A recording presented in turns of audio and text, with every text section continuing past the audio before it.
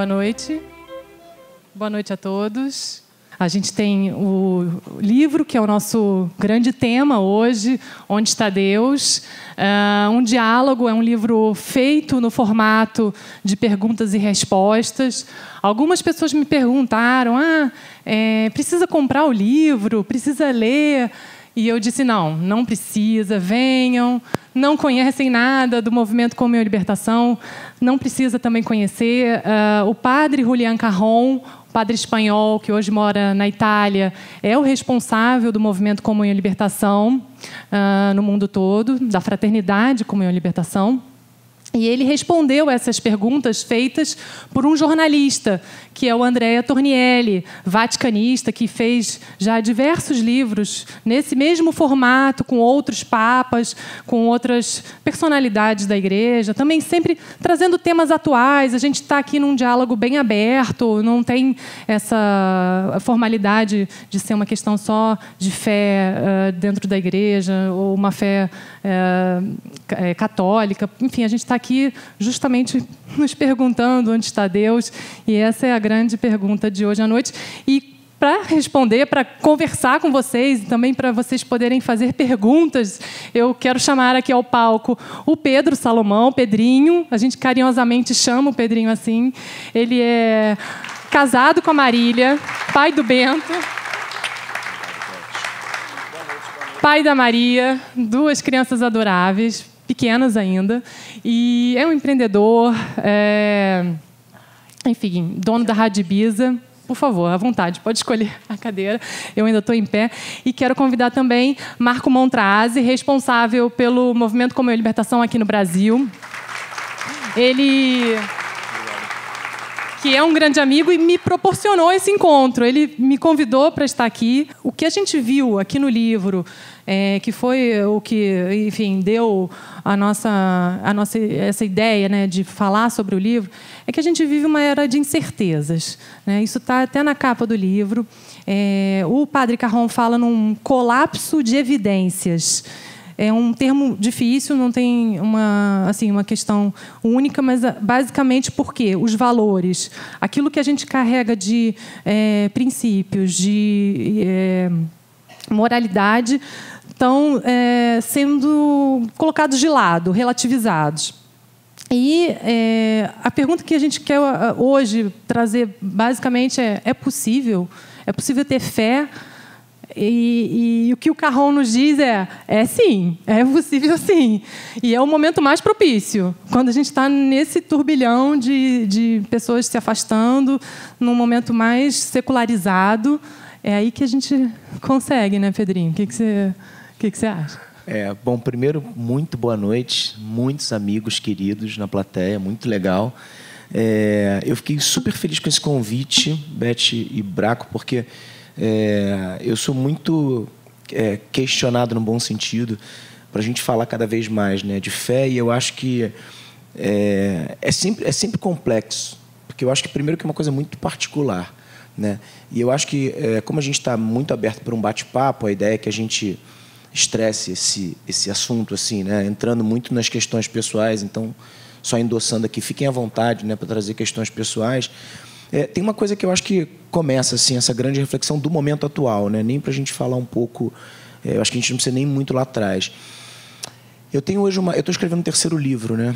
Que o nome é Valor Presente e fala muito sobre é, o quanto a gente está cada vez é, nos tornando nós todos, né, mais incapazes de viver o hoje, né?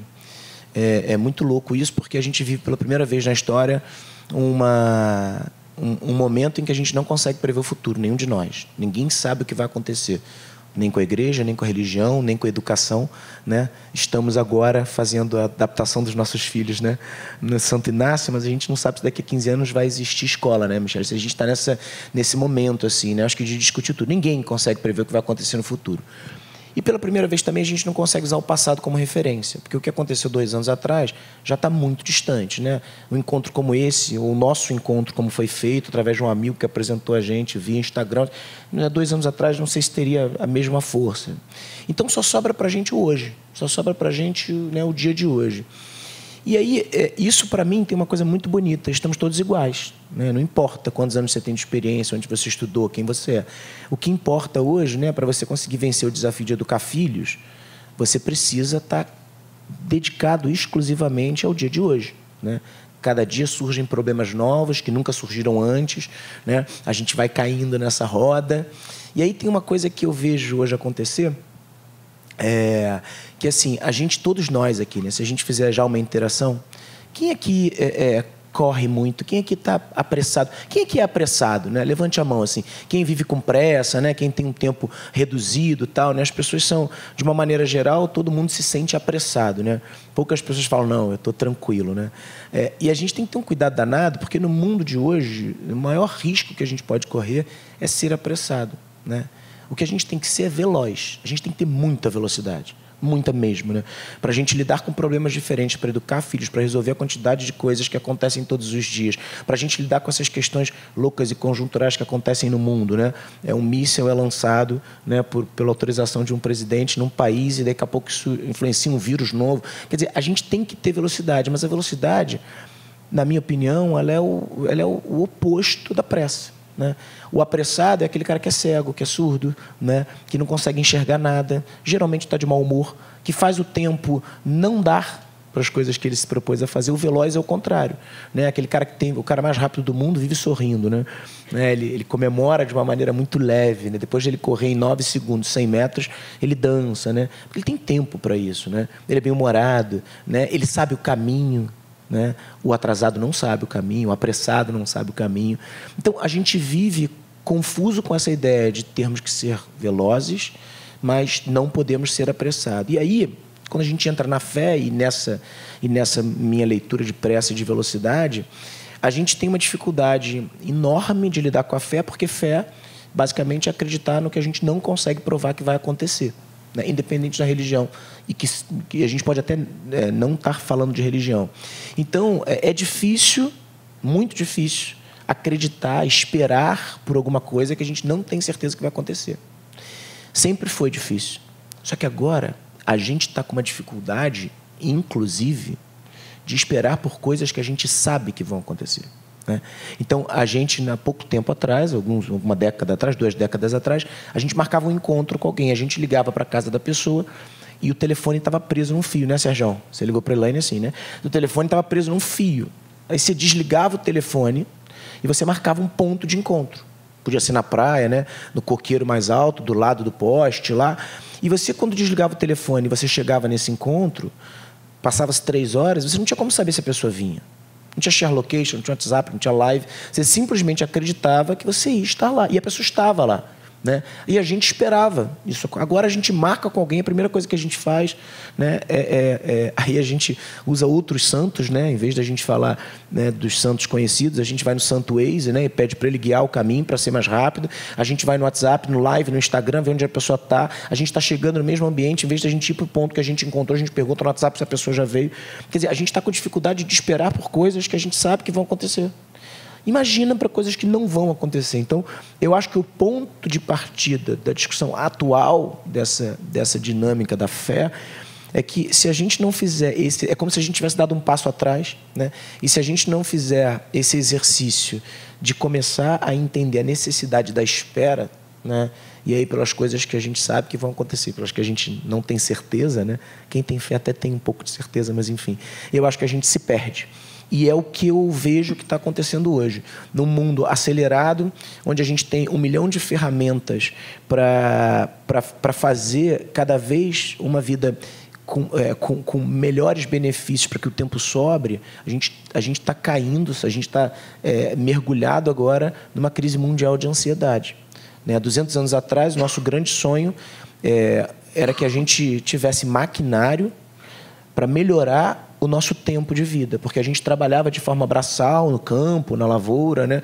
É, e a gente tinha que usar muito tempo para produzir. Aí veio a Revolução Industrial, junto com ela a primeira Revolução Tecnológica, e a gente teve o maquinário, enfim, ao nosso dispor, né? De lá para cá, a gente tem a sensação de que o tempo vai encurtando.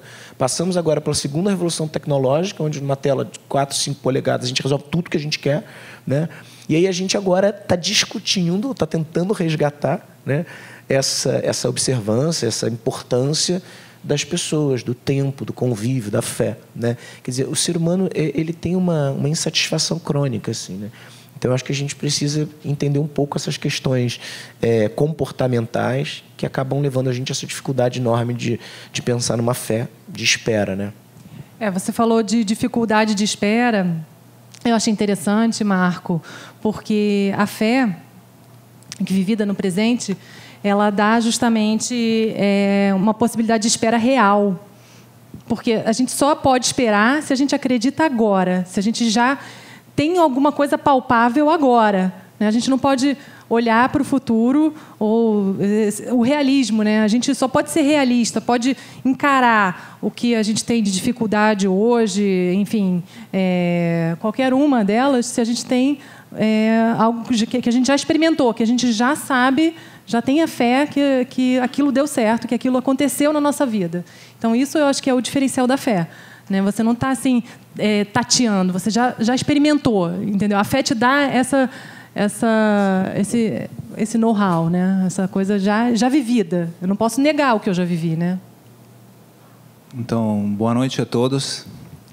Eu queria agradecer demais, em primeiro lugar, o Pedrinho, porque através desse nosso amigo Carlos Ferreirinha, né? é, com o qual começamos a debater desses temas, dessas coisas da, da vida, né? Um dia ele me contou do Pedrinho, é, falou: Olha, acho que você tem que conhecer esse cara. Aí nos encontramos, foi um. Tomamos um açaí, né? e foi muito bom, porque era como se. Não sei, para mim pelo menos foi. Como se estivesse com um amigo conversando há muito tempo uma familiaridade, uma sensibilidade sobre algumas coisas. Eu, em particular, falei sobre uma preocupação que eu tenho com, com jovens, porque eu gosto muito de, de encontrar os jovens, porque me questiona muito. Não posso, com jovem não pode falar de discursos. Então é muito bom estar com eles. É, é, por causa do movimento, nós temos vários encontros, várias. É, você tem que lidar com muitas perguntas. É, as perguntas com eles não pode responder com coisas preconstituídas. Tem que falar com tua com tua experiência. Então, conversando sobre essas coisas, nós encontramos uma como uma sintonia, um desejo. Então eu falei do livro e nasceu essa ideia desse desse papo porque pensamos é como precisa falar de tudo isso. Como precisa se encontrar. Primeiro numa época onde todo mundo tenta colocar divisões, não? polarizações. Eu penso assim, você pensa assado, não, não dá mais para conversar. Mas quando você coloca alguns temas, você se encontra junto, não, não tem como. Estamos num momento onde precisa, como tirar uma, uma casca, não? Do nosso humano é tentar ser sincero, simples. O que, que cada um de nós que está aqui saiu de casa, talvez com um monte de problemas, talvez com uma ferida, Quantas vezes nós cobrimos isso? Quantas vezes não temos coragem de falar, nem para as pessoas mais próximas? Porque nós precisamos como ficar dentro de um padrão, de uma certa segurança, não? Em vez precisa de lugares onde eu posso ser eu mesmo. Então por isso nasceu essa, esse encontro. Eu queria agradecer. E quando se fala de fé, se falamos de esperança, a coisa que mais me marcou, como o Pedrinho falou, é que para mim, eu não era um garoto que ia na igreja. Pelo contrário, quando comecei a fazer catecismo, achava chato demais. Não conseguia aguentar. Ainda sinto o cheiro de mofo da sala onde eu estava lá na Itália. Me dá como, sabe, tem as lembranças que te, te deixam um pouco angustiado. Mas era o catecismo assim, cada um tinha que ir. Você era como uma esteira, né? Nós, desde criança, você chegava a 18, 19 anos, primeira comunhão, crisma, tal, tal. E depois muitos saíram. Mas eu encontrei, foi a experiência que eu fiz a um certo ponto, foi entender que algumas palavras tinha que a ver com o meu humano. Não era uma coisa de religião, era uma coisa humana. Tinha a ver com a minha vida, com o meu desejo de amar a, aquela menina, com, a minha, com o meu medo de perder, com o trabalho, com tudo. Por isso que comecei a me interessar. dentro de alguns encontros, como o livro fala, né, muito, Carron fala de como pode se tornar interessante hoje Deus. Se você encontra, se você encontra em alguém, mas não que fale de religião, não que seja religioso, não que seja meio, não sei, de um outro planeta, que fale do humano. Quem te marca mais? Não é aquele que é mais é parecido com Deus, é aquele que é mais humano. Porque Cristo marcava as pessoas, porque ele era humano. Ninguém sabia que, que era filho de Deus quando estava lá no início. Né? Como é que ele começou a ficar famoso? Porque era humano, porque te olhava de uma forma que, que ninguém te olhava. Porque fazia as coisas de todo mundo de uma forma diferente. E nós, talvez, que estamos dentro da, da igreja, não sei aqui quantas pessoas, mas acostumados a um certo, a uma certa forma que se tornou óbvia, esquecemos que nós precisamos ver o humano, o humano verdadeiro. Esse é o desafio que temos hoje, que eu fiquei muito interessado em conversar, porque é o desafio do livro. Não? Como pode ser interessante hoje Deus? É a fé. Não porque te dá uma série de regras, mas porque pode se tornar humana, verdadeiramente humana, a vida. Por exemplo, essa coisa da esperança. Tipo, agora o coronavírus, não sei, cada um de nós, quando você começa a sentir as notícias, eu não sei, eu fiquei meio angustiado. Acho que todo mundo, né? Por quê? Porque você vive, você vive no presente, mas carrega já o futuro dentro do presente. Tipo, você semana que vem tem uma prova na escola. Gabi, não, você já acabou a faculdade. Se você tem uma cirurgia daqui a um mês, já hoje carrega aquela coisa. Então nós vivemos já o peso do futuro no presente. Então quando o que que te dá certeza de viver o futuro? Aquela coisa que o padrinho falava. Se eu hoje tenho um vínculo, vínculos, uma experiência que me dá como essa certeza em enfrentar o futuro. Por exemplo, quando dois se casam, não sabem nada do futuro ainda, mas tem como uma uma certeza de, de começar uma aventura, não? Por quê? Porque tem um vínculo no presente que é como se quanto mais vai ao fundo, mais te abre o caminho do, da vida.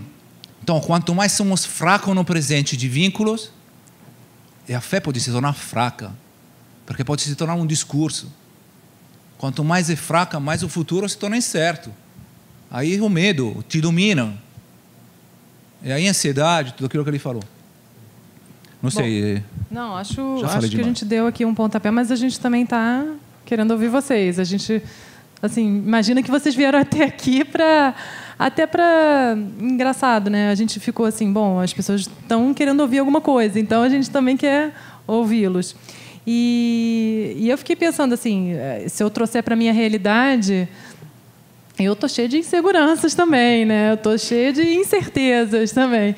Mas é, até a Annelise, num dos encontros, a gente estava na casa da Annelise, que foi super bacana, né? A gente fez um jantar, o Pedrinho foi lá e, e a Annelise recebeu a gente super bem. E eu achei bonito porque ela falou também como é que era a vida dela, né? O que, que ela espera de tudo assim que ela que ela enfrenta, mas é, como é, é, justo assim que cada um tem sua particularidade. Então, talvez o que a Anne, a Annelise enfrenta é diferente, né? Mas a, a fé pode ser para ela, pode ser para mim, pode é, ser para você. Você está falando um negócio, eu estou pensando uma coisa é, que faz muito sentido com o que você está falando, Beth, que eu acho que é o seguinte também. A gente, no mundo de hoje, a gente também espera por por ações muito contundentes, né? A gente fica querendo ser impactado. De certa forma, a gente tem passado por isso assim no nosso convívio natural, assim, né? É, a gente tem cada vez notícias é, extraordinárias, coisas. A gente espera que o extraordinário aconteça o tempo inteiro. E o que eu percebo também é que muita gente espera que a fé, é, de novo, assim, né? Eu, eu tô Estou falando de uma fé não necessariamente associada à religião, mas essa, essa crença em algo que, né, que não está que não tá aqui, palpável, explicável, assim, é, o, que, o que eu percebo é que as pessoas esperam que esse encontro seja traumático. Né? É assim, é, né? É assim, eu caí do cavalo, né? Tava andando, aí bati com a cabeça, vi Jesus, ouvi Buda, ouvi, né? Sei lá, e aí resolvi seguir um caminho diferente, mudei minha vida inteira, né? E a gente fica esperando grandes rupturas. Eu acho que isso é uma é, essa construção ou essa ideia de ruptura que também tem muito a ver com a história dos santos, né? São Francisco, Santo Agostinho, santos que romperam, né? Com, com, com as coisas mundanas, né? E se entregaram para a devoção, o rito, né? Da gente ir à missa todo domingo, né? Mamãe e papai faziam isso com a gente, depois a gente ia jantar fora. Durante uma grande parte da vida a gente ficava mais preocupado com o restaurante que a gente ia escolher do que né, com a igreja que a gente estava indo, mas, é, mas estar naquele ambiente fazia muito bem, né, para um convívio em família tal. E é engraçado porque é, eu e minhas irmãs, é, eu, a Gabriela e a Isabela, a gente não tem uma história triste para contar, né? Assim, nenhum de nós teve um raio caiu, estourou tudo, aí só sobrou aquela casinha, a gente viu Jesus. Não tem essa história, né? Muito pelo contrário. Eu acho que quando você constrói as suas relações de crença, e aí de novo, seja lá no que for, né? Por conta da sua vida, né?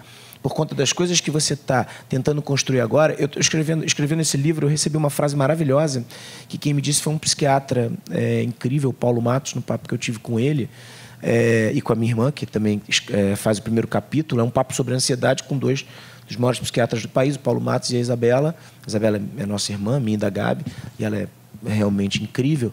E ele falou uma frase de Santo Agostinho que mais ou menos diz o seguinte: né? não existe o tempo, os três tempos verbais, né? Passado, presente e futuro. Existe o passado do futuro, o passado do presente e o passado. É, desculpa, existe o presente do passado, o presente do presente e o presente do futuro. Né? Quer dizer, de fato, para a gente só existe esse tempo que está aqui.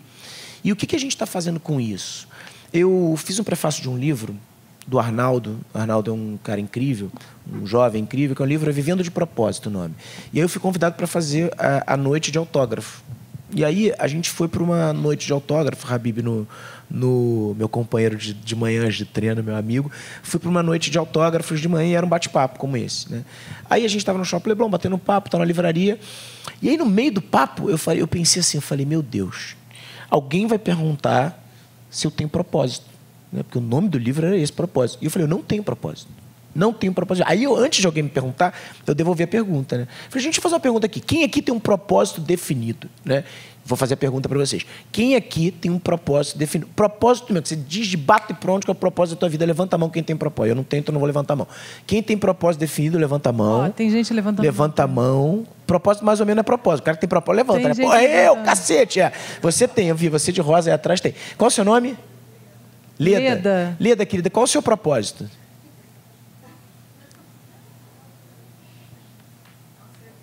Ah, é segredo? Ixi. Então, então isso não é propósito. Isso aí é. Deixa pra lá, depois você conta. Conta agora, fiquei curioso, né? Isso não é propósito, é pecado, né? Segredo, você tá, ela tem um pecado cabuloso. Não, mas olha só que engraçado. A gente está na moda, a palavra da moda é propósito, né? As pessoas têm. A gente tem visto cursos, as pessoas falam, não, a gente tem que encontrar o propósito. É engraçado porque eu vejo um monte de gente né, criar aqueles propósitos lindos e maravilhosos. Né? Aqueles, é, é, aqueles propósitos. No meu propósito é transformar a humanidade através das minhas palestras. Porra, dá um trabalho da porra, né? Imagina assim, porra, transformar o mundo, né? Assim, pô, começa transformando o seu quarto, arruma teu quarto, sua casa, vai pra rua. Se você conseguir, vai progredindo. E a gente fica perseguindo essas utopias, né? Assim, é, essas ideias de que ah, eu vou fazer alguma coisa extraordinária. E aí, é, fala, aí eu falei sobre isso, falei que eu não tinha propósito. E aí o Arnaldo falou um negócio muito legal. Ele falou assim: olha, eu acredito de verdade que é, toda construção de vida da gente, seja ela qual for, ela alimenta, ela abastece, ela cria né, um quebra-cabeça é, para que se um dia você tiver um propósito bem definido, seja ele qual for, né? Ah, eu vou ser o melhor pai do mundo, eu vou. Né? A gente teve um propósito de vida definido, eu e minhas irmãs, quando a gente soube que o papai ia morrer. Né? A gente falou, cara, a gente vai transformar esse momento num momento incrível da vida, porque a gente só tinha duas opções, opções, né? O médico falou: seu pai tem um câncer, esse câncer vai matar teu pai, ou a gente enterrava o papai, ou a gente transformava aqueles 50, 60 dias nos melhores das nossas vidas, e a gente transformou, porque aí a gente teve que criar um propósito para ressignificar um processo doloroso. Né? Quando o processo é difícil, quando o processo ele é complicado, complexo, onde a maioria das referências dizem que esse processo você não vai conseguir passar de forma leve, você só consegue fazer isso se você criar um propósito. Né? É assim, é, se eu quero me tornar o presidente da República, eu tenho que transformar isso em propósito. A maioria das pessoas vão falar, você está maluco, né? Você não vai conseguir, né? Como foi com, as, com a maioria dos presidentes, né? Ninguém fala, ah, você vai ser. Né? Então, é, quando a gente cria essa ideia, ou quando a gente vive nessa ideia de que o propósito não precisa ser uma frase de efeito, bem definida, né? e que eu preciso transformar isso em meta, e fazer PNL, e acordar, e meditar, né? e me preparar. Quando você tira esse peso da sua construção de vida, a chance de você encontrar uma caminhada mais leve, né? e aí você conseguir respostas mais. É, mais naturais, mais orgânicas da vida, é muito mais fácil, pelo menos na minha opinião. Né? Então, eu também acho que tem essa coisa de estarmos todos muito livres para pensarmos o que quisermos, né? essa, essa metáfora do Bauman, do mundo líquido, né? onde todo mundo é, pode ser o que bem quiser, a gente vai perdendo essas, essas formas, a metáfora da água que ele usa, né? tudo se dilui, tudo se perde, faz com que a gente também se sinta, a gente está se afogando, né? a gente está andando naquela, naquele negocinho de gelo, né? que se você parar e fizer muito peso, o negócio quebra e você afunda. É mais ou menos como eu vejo que a gente está tentando lidar com essas questões relacionadas à fé. Né? É, a fé, a construção de, algum, de, de, um propósito maior, de um projeto de vida. Então, é, eu acho que a gente precisa, de alguma forma, é, parar, parar um pouquinho e, e pensar no que, que a gente pode construir como micropropósitos, né? Ou como é que a gente pode ir construindo uma caminhada um pouco, um pouco menos pressionada para aí se encontrar de forma natural tudo que está preparado para a gente. Se é que você acredita em destino ou não, né? Se você acredita em plano de Deus, enfim. Mas eu acho que curtir esse momento, ressignificar o olhar para o processo, como o Braco falou, não tanto para o resultado, eu, eu, eu, acredito que é um desafio é, muito nosso agora, assim, sabe? Eu vejo muito isso na educação das crianças, muito, assim, né? A gente que tem... É, tem um casal aqui, né? Sergião e Elaine, é, eu, eu, eu, encontrava esses caras na missa e eles têm o Pedrinho e a Clara. Os filhos deles são as coisas mais lindas do mundo. E o que mais me marcava era como... É, eu não tinha filhos ainda, eles são muito mais velhos do que eu, né? É, e, eles, e os filhos ficavam brincando na Nossa Senhora da Paz, era a coisa mais linda, o carinho que os dois tinham. Toda vez que alguém elogia o carinho que meu filho tem com a minha filha, eu lembro deles. Eu lembro do Pedro com a Clara, da Clara com o Pedro, e eu lembro como, é, como isso era natural ali, né, na, naquele berço, naquela vivência. A gente tem um desafio muito grande educando filhos hoje é, de abrirmos um diálogo e que hoje me parece muito mais escutatório do que oratório, quer dizer, a gente precisa estar muito mais atento ao que eles têm a dizer para a gente, né? porque eles estão trazendo informações novas, formas novas de se comportar, eles estão com acesso a informações diferentes que a gente não tinha. Né? A gente pesquisava na Barça, no professor e no pai. Né?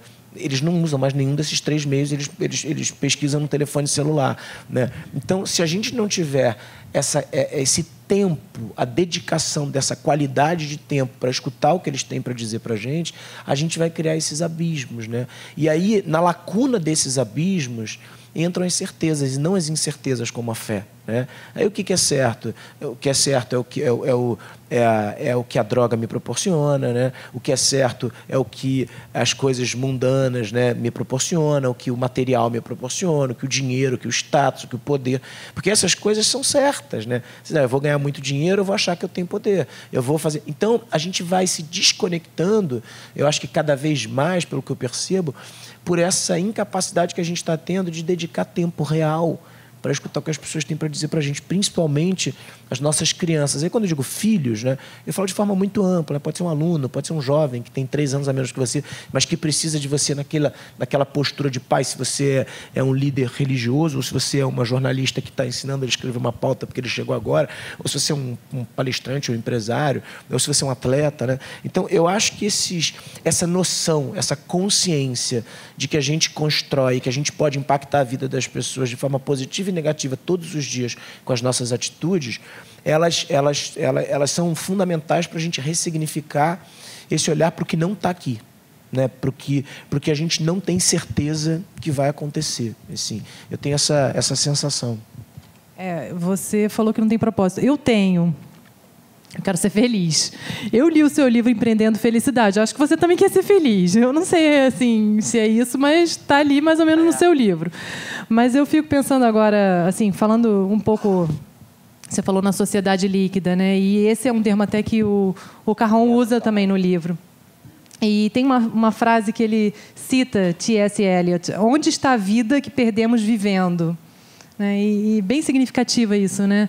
Como a gente deixa as coisas acontecerem esperando uma grande ruptura, talvez, um grande momento. Ah, não, ali é, eu me converto, ali eu passo a ter fé. Até agora eu não preciso ter fé, está tudo indo mais ou menos bem, né? E, e, o que eu fico vendo assim é que a gente não precisa de uma uma grande ruptura ou de um, um algo extraordinário. A gente está aqui hoje num evento é, comum, uma coisa, um bate-papo, e a gente está diante de um questionamento interessante, uma coisa que pode mudar a nossa vida. A gente sair daqui mudado, disposto a acordar amanhã, ir para uma cirurgia, sorrindo, como tem também esse exemplo no livro. Né? E é uma coisa que eu queria que o Braco falasse, o Marco Montrazi, responsável pelo movimento Como Libertação, que a gente tem um papel, a gente tem responsabilidade nesse acordar de manhã com, com um sorriso no rosto que não é óbvio, né? Então, eu acho que a nossa responsabilidade está aí também. Por favor, Braco, é você. Difícil a pergunta. Alguém que quer responder, não sei. Eu, eu não sei, o Pedrinho não. pode tentar também. Porque não é que é difícil a pergunta, é que estava pensando na minha vida, não? Porque não a responsabilidade para mim aconteceu. Responsável significa que você começa a responder alguma coisa, não? A tomar consciência de alguma coisa. Eu me lembro que que na minha vida eu vivia uma vida muito normal. Tinha 16, 17 anos, tinha o futebol, tinha a escola que não estava indo muito bem, tinha as meninas. Mas era uma vida muito normal. Eu, eu precisei fazer um encontro. Precisei fazer um encontro para. Não sei como é para você, Pedrinho. Você, você fala muito do, do seu pai, da sua família. Aí eu precisei fazer um encontro com algumas pessoas, com uma pessoa em particular, que é como se me tivesse me despertado a mim mesmo. Como se tivesse. Sabe quando você tem alguma coisa adormecida que você não se dava conta? eu tinha aquilo que depois eu descobri, que era algo que tinha dentro de mim, a coisa mais preciosa que eu tinha dentro de mim, que era o meu eu, não? Esse eu. Esse, esse desejo de infinito que eu sou. Eu estava vivendo com esse desejo que empurrava para tantos lugares, mas sem me dar conta. Sem me dar conta, ficava em casa triste, com aquela saudade, com aquela, aquele tédio, mas não sabia o que, que era. Eu precisei fazer um encontro para me dar conta que, que também esse tédio era uma coisa boa. Era algo que gritava dentro de mim, bom. Um infinito que empurra, não? Enquanto todo mundo agora te fala que você está doente, e a gente já carrega isso nas crianças com a suspeita que são doentes.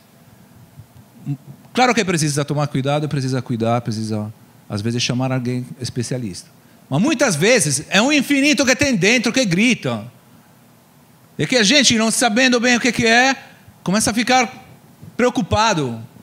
Começa a achar que é uma loucura, começa a achar que somos malucos. Porque você está em casa sozinho e não está acontecendo nada te vem vontade de chorar. Mas esse aqui é um desejo de infinito que empurra dentro, não? E você precisa encontrar alguém que saiba te ajudar a, a descobrir isso que não é uma doença, que você não está doente, você é humano. E, que, e quem está então. disposto, quem está nesse papel de te ajudar a encontrar, né, se distancia muito dessa função hoje, né? Em qualquer religião, é, não vou generalizar, mas acho que em todas as religiões que eu tenho contato, eu tenho contato com muitas, né? Eu gosto de, do, do, assunto religião. É, o, o, esse, esse guia, né? Essa pessoa que te, que te traz ela faz isso de uma forma muito ruim, né? Hoje, assim. É engraçado porque no mundo onde a gente está aqui fazendo uma introdução importante sobre o diálogo, sobre a conversa, né? Parece que nas instituições religiosas, falando da fé religiosa, né? Que eu não queria entrar muito, mas acho que é importante pontuar, é, a gente tem um discurso de dogmas, crenças e restrições que, que te afastam desse diálogo, né? Assim, é, é engraçado como quando você olha, por exemplo, para a vida de Gesa, né? É, é, Gesa foi o cara mais moderno que a humanidade já viu, mesmo no mundo ó, de hoje. Ó, né? Pedrinho, alguns amigos não sabem. Gesa, Jesus, Jesus, há dois mil anos atrás, Gesa ele foi o cara mais moderno que já existiu, né? Porque a gente, a gente tem uma dificuldade tão grande de humanizar as relações, né? Outro dia eu fiz, agora, fiz uma palestra é, no sábado em São Paulo e aí é, pedi para fazer um exercício que era muito simples, né? Você vira para a pessoa que está do seu lado, podem fazer isso, tá? E pode ser marido mulher, não tem problema nenhum. Você vira para a pessoa que está do seu lado e dá as duas mãos para a pessoa e olha no olho dessa pessoa durante dois minutos. Vai, faz o exercício aí. Vira para a pessoa do lado, sério, olha para a pessoa, olha no olho da pessoa, sério, é isso, é já não conseguiram, volta para cá. Tá todo mundo rindo, achando que é sacanagem. É, a gente tem uma dificuldade enorme de olhar no olho da pessoa. A gente se sente invadido, né? Meu Deus, a pessoa está invadindo, eu vou olhar. Do... Pô, é sacanagem do cara, né? Eu vou rir, vai ser engraçado. Como é que eu vou olhar dentro do olho da pessoa? Mas a gente gasta, em média, três horas por dia. A gente joga fora três horas por dia olhando para a tela do telefone, sem nenhum objetivo fim. Essa é a média de tempo que a gente gasta né, navegando. Quantas pessoas. Você está sentado assim em algum lugar, né? Aí você olha, a pessoa não tem nada para fazer. Em vez de ela pegar um livro, olhar para você, olhar para o comportamento humano, o que, que ela faz? Ela abre a tela do telefone, dá dois scroll para cima e fecha a tela do telefone. Né? Podem observar, agora vocês vão observar isso direto, assim, depois que você fala. Né? Quer dizer, a gente está com uma dificuldade enorme de humanizar as relações. E a gente tem dois extremos hoje, assim, né? os animais e a inteligência artificial. Né? Vamos lá para dois extremos. O que diferencia a gente desses dois extremos né, é, é uma qualidade que nós temos de sermos humanos. Né? A única coisa que diferencia a gente dos animais, da intuição né, que esses animais têm, do instinto da intuição, não, mas do instinto que esses animais têm, é a capacidade de colocarmos sentimento de forma proposital nas relações. É isso que faz a gente os humanos. E é o que distancia a gente da inteligência artificial. Ela até coloca sentimento hoje, né? mas é porque ela é programada para isso. Né? Ela não percebe que você está precisando e ela vai lá, né? te dá um abraço, um beijo, um carinho, né? olha para você, fala, deixa eu olhar no teu olho, deixa eu te abraçar. E a gente está tirando isso das relações humanas. Quer dizer, a única coisa que a gente podia se diferenciar, que é o olhar, o abraço, o carinho, o afeto, a escuta, né? É, a escutatória, não a oratória, a gente está tirando das nossas relações. E aí fica muito difícil a gente perceber o comportamento humano. E quando a gente fala de humanização, não é só na nossa relação com, com o humano que está com a gente, né, Marcinha, assim, com, com quem está do lado da gente. É da nossa relação, por exemplo, com Jesus. Né? Quando a gente fala de Jesus, é independente da, da religião que você tenha, a gente está no ano de 2020 por conta dele. Né? Então, a, a, cronologia acontece por causa de uma grande transformação do mundo que esse cara fez. A gente está discutindo de feminismo hoje, agora. Está né? na ah, vamos discutir sobre feminismo. Jesus tinha uma mãe solteira e era melhor amigo da prostituta. Quem aqui tem uma amiga prostituta que frequenta a casa? Levanta a mão. Alguém tem? Eu não levantei a mão, não, tá? Levanta a mão. Ninguém tem, o cara tinha. Pô, você quer ser mais moderno do que esse cara era? Ser mais humano, né? A gente fala de direitos humanos agora, né? Eu vim para cá escutando sobre. É, na rádio, os caras criticando a ação do BOP da Bahia, que matou o miliciano, tal, não sei o quê, não sei o quê. Não, porque não pode matar tal direitos humanos.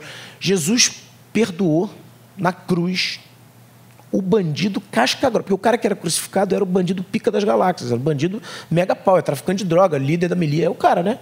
Aí o cara tá lá na cruz, pede perdão para Gesa, porque vê que o céu treme. Pá, pô, cara, cara é Gesa, né? Já tô na última aqui, vou pedir desculpa, pede desculpa a Jesus na memória, perdoa o cara. Não quer saber qual é a ficha criminal dele, para onde ele foi, o que, que ele fez. Então, a gente está discutindo direitos humanos agora, o cara já era o líder mundial dos direitos humanos há 2020 anos atrás. Né? A gente fala sobre é, famílias não convencionais, meu Deus, né? O pai não sabia que era pai dele, a mãe era mãe solteira, engravidou com 15 anos e contou para o pai que foi o Espírito Santo. Eu não acreditaria. Eu sou super devoto porque eu acho incrível como é que ela fez. São José tem uma estátua dele lá em casa, eu acho incrível. Quando eu preciso de fé na família, eu falo, pô, se você conseguiu, por que, eu não vou conseguir? Né? Só que isso é uma relação humana com a fé, né? É porque, porque você vê o santo, como santo é mole, vou rezar para o santo, fazer oração. Mas e o lado humano? Como é que esse, que, que, que esse cara fez, né? Pô, São Francisco rompeu com tudo que ele tinha: dinheiro, grana, mulher, namorada, tudo. Pô, para viver de pobreza, vai viver de pobreza. Difícil pra caramba, né? É, assim, a gente para doar é, já é difícil. O cara fazia isso de forma natural, né? O pai. Então, quando a gente começa a humanizar é, as relações, quando a gente começa, de fato, a olhar para o que a gente tem para olhar como seres humanos, como humanos, né? dotados de sentimento, se aprofundando nas relações humanas, a gente começa a construir uma outra relação, inclusive com essa história de fé. Né? eu achei muito legal uma coisa que a Beth falou ali dentro, que eu achei ótimo, né? que ela falou o seguinte: quanto mais a gente tenta explicar a fé, mais a gente se distancia da fé, porque a fé é justamente o inexplicável. Né? Assim, mas o que a gente pode tentar explicar, ou que a gente pode construir como exercício hoje aqui, é essa coisa da espera. Né? Porque o ponto de partida para você é, é, até se espiritualizar mais né, é você conseguir esperar. Lembrando que muitas vezes, quando a gente se permite esperar no mundo de hoje, a gente quer de novo essas, essas soluções é, fast, né? Assim, a gente fala assim, não, tá bom, agora eu estou esperando, eu comecei a esperar, eu faço meditação, né? Agora fiz um treinamento de mindfulness, né? Eu respiro todo dia, faço respiração durante 30 minutos de manhã, sou revestido de pensamentos positivos, eu estou num processo evolutivo. Cuidado, porque o pensamento positivo sozinho ele gera inércia. O que muda o mundo não são os pensamentos positivos, são as atitudes positivas. Né? Então, assim, tem uma diferença muito grande entre um e outro. Né? Não confunda a inércia do pensamento positivo com a força avassaladora de uma atitude positiva. Se você tiver uma atitude positiva, você muda o mundo. E aí o que, que acontece? Quando você entra no templo, né? vamos falar de templo aqui, não importa se você está na igreja evangélica, se você está nas matrizes africanas, se você está no espiritismo, quando você entra ali, né? A pessoa que é tida como a mais devota de todas é a que mais te critica. Né? Eu, eu, eu sou um rei dessas experiências. Né? Minha irmã me presenciou uma agora nas Clarissas, né? há pouco tempo atrás. Quer dizer, eu levo meus filhos para a missa. Né? Eu vou à missa todo domingo. Né? Eu tenho cara de. Eu sou, sou carola, parece que não sou, mas eu sou, né? É, eu tenho cara de maconheiro, de cachaceiro, não sou nada disso. Eu vou à missa todo domingo, tal, rezo. Mas eu tenho uma, uma eu tento ter uma, uma visão mais humana dessa história da fé. E eu levo meus filhos à missa, né? Tem uma história que, eh, que eles adoraram, que eu contei lá, que é verdadeira. A gente foi fazer uma Páscoa lá em casa, eu estava todo feliz que a gente ia fazer uma Páscoa lá em casa, domingo de Páscoa, um monte de criança lá em casa. É, desculpa, a gente foi fazer o, a, o, a sexta-feira da paixão lá em casa, tal, não pode comer carne, vamos pedir uma pizza, jogando as crianças todas. Aí tinha umas oito crianças lá em casa. Aí eu virei e falei assim, falei, ó, o negócio é o seguinte, galera, agora brincamos, pô, a gente tinha brincado todo na piscina, feito, não tinha comido carne, mas tinha pedido pizza. Falei, ó, agora é bagunça, mas hoje vocês não têm aula porque Gesa morreu. Hoje é o, hoje é o dia da, da, morte de Gesa. E ele está esperando que a gente vá lá visitar ele, né? Assim, está deitado lá, a gente vai lá visitar ele. As crianças, sério, sério. Bom, eu arrastei filhos de todo mundo. Cheguei na igreja com oito crianças. Né? Todo mundo sujo de piscina e o cacete e tal. Mas eu falei, aí eu falei para ela, falei, mas é o seguinte, ele está deitado ali, mas a gente já, olha que legal, a gente já sabe qual é o final do filme, ele vai ressuscitar. Então a gente vai chegar no ouvido dele vai falar coisas engraçadas, porque ele vai ficar feliz da vida, né? E ele disse para todo mundo que era para as criancinhas chegarem perto dele. Então, olha só, vocês estão livres para vocês fazerem o que vocês quiserem. Aí chegamos na missa, eu e oito crianças, né? Na missa não, na igreja, não estava tendo missa. Aí tinha as carolas lá na frente, rezando, né? Todas elas rezando, com véu, pá, não sei o que, rezando para Jesus. Aí chegaram as crianças, bonitinhas, assim, meus filhos, o Bento foi bonitinho. Ele foi, beijou o pé de Cristo, chegou do lado, falou no ouvido tal, e sentou do lado do altar. A pequenininha tinha um, dois anos na época, tal, beijou tal, ficou pulando, dançando baby shark na frente do, do altar tal. E todo mundo amarradão, as crianças todas brincando. Aí no meio da brincadeira, né, a, a, a senhora falou, Shhh! Aí eu cheguei para e falei, fala baixo, estou atrapalhando, tá? Um absurdo. Aí eu tirei as crianças, né? Fui embora tal. Quando eu estou chegando lá fora, eu estou vendo que minha, minha mulher estava lá fora, a Marília, ela estava esperando acabar o negócio, eu já saí. Quando eu estou indo embora, eu falei, você segura as crianças porque eu vou voltar. Ela falou assim, não, não, você não vai voltar. Eu falei, vou voltar. Aí eu voltei, Cheguei do lado da senhora, assim, a senhora continuou rezando lá, compenetrada. Eu abracei ela assim, em Santa Cruz, na igreja na, do, do shopping dos antiquários ali na, na Copacabana. Abracei a senhora e falei, deixa eu falar um negócio para a senhora. Ela, o que, que é? Aí eu falei, olha só, a senhora mandou calar a boca as criancinhas que estavam aqui no altar. Gesa tá bolado com a senhora. Aí ela falou assim, como que você fala um negócio desse, um momento fúnebre desse? Eu falei, olha só, como que a senhora quer que eu convença oito crianças a virem para o enterro Aí ela, mas não, eu, falei, eu falei que é divertido, porque eu já sei que ele vai ressuscitar. Faltou para a senhora empatia. Vou dizer mais: se Gesa estiver aqui, ele está muito chateado com a senhora. Aí ela, não, mas você. Aí ela começou a ficar nervosa. Ela falou, não, mas não é isso, é porque tem que ter respeito. Eu concordo, mas a senhora não pode fazer um xixi, só traumatiza a criança. Porra, pelo amor de Deus, a gente está lutando para trazer criança para tempo para a igreja e a senhora expulsa as crianças com xixi alto para caceta. Aí ela, você tem razão. Eu falei, então eu tenho certeza que a senhora está perdoada. Se a senhora acha isso de verdade, a senhora está perdoada. Aí ela falou, não, olha, eu nunca tinha pensado desse lado, tal, não sei o quê. Eu saí, mas é o que a gente, eu, e minha irmã, a gente passou por isso agora, né? Pô, minha filha estava lá atrás, vendo os passarinhos, mico que vem, nada a ver, fora da igreja, né? Aí a mulher virou três vezes na segunda fez uma cara. Pô, não é possível que a pessoa está no templo. Né? Assim, tudo bem, você tem um rito, a pessoa quer escutar homilia, quer escutar. Primeiro que você não entende. Aí a primeira, primeira leitura, ninguém entende a primeira leitura da missa. Quem vai à missa sabe. A primeira leitura é feita para você não entender. O Antigo Testamento é uma loucura. Porra, você está compenetrado, a criança te atrapalha? Não, não vem. Então, assim, eu acho que é, essas. É, essas essas, é, é, essas referências que a gente tem dessas pessoas que estão ali na frente, né? muitas vezes o padre, o pastor, né? a gente fala de tolerância e a gente vê discursos extremamente intolerantes. Né? Quer dizer, a gente se contradiz e muito o tempo inteiro. Então, eu acho que essas referências, e é por isso que eu gostei muito desse papo, né, Branco? É, para quem, só para pontuar assim, o Braco faz parte do movimento, ele é o líder do movimento no Brasil. Eles fazem votos incríveis, né, como castidade, como pobreza, pobreza também, né, pobreza, eles vivem em, em comunidade e são agentes transformadores do ambiente comum. Né? Então, assim, eu falei, cara, isso é maravilhoso, né? Porque é o que a gente precisa, né? Pessoas que venham falar com a gente, né? A Papa Francisco é um grande líder religioso, sim, e humano. Né? E a primeira coisa que ele falou no discurso dele, muita gente associa ele só a, a Francisco de Assis, né? Mas ele falou, ele é um, um jesuíta e ele fala, é, me inspirei nos dois Franciscos, né? No empreendedorismo do Xavier, né? De, de, de sair da igreja, de ir atrás, né, de construir novos horizontes, de, de, de, desbravar barreiras. Eu acho que a gente precisa fazer um pouco esse papel. Não, não vim aqui falar da religião em si, né? contei mais da minha vida pessoal ali, mas eu acho que a gente precisa fazer isso na nossa vida, sabe? Assim, é a atitude que você deixa de ter, porque você acha que o pensamento já está legal. Ah, não, né? Eu vou ficar aqui, vou me revestir de pensamentos positivos, mas eu não vou ajudar o cara que precisa, né? Eu não vou atuar na ansiedade que o cara tem. Vou cuidar do meu, vou cuidar dos meus filhos, mas vou cuidar dos outros, né? Perde sentido, né? Você vai cada vez mais transformando a sua vida num casulo onde você vive dentro de uma blindagem e você não consegue se sensibilizar com as questões alheias, né? Eu acho que esse é o papel de quem se sente espiritualizado, né? De alguma forma é, é, é propagar isso, assim, né? É tirar isso de, de, de, de você e jogar para o mundo, assim, né? Pelo menos é como eu penso. Assim.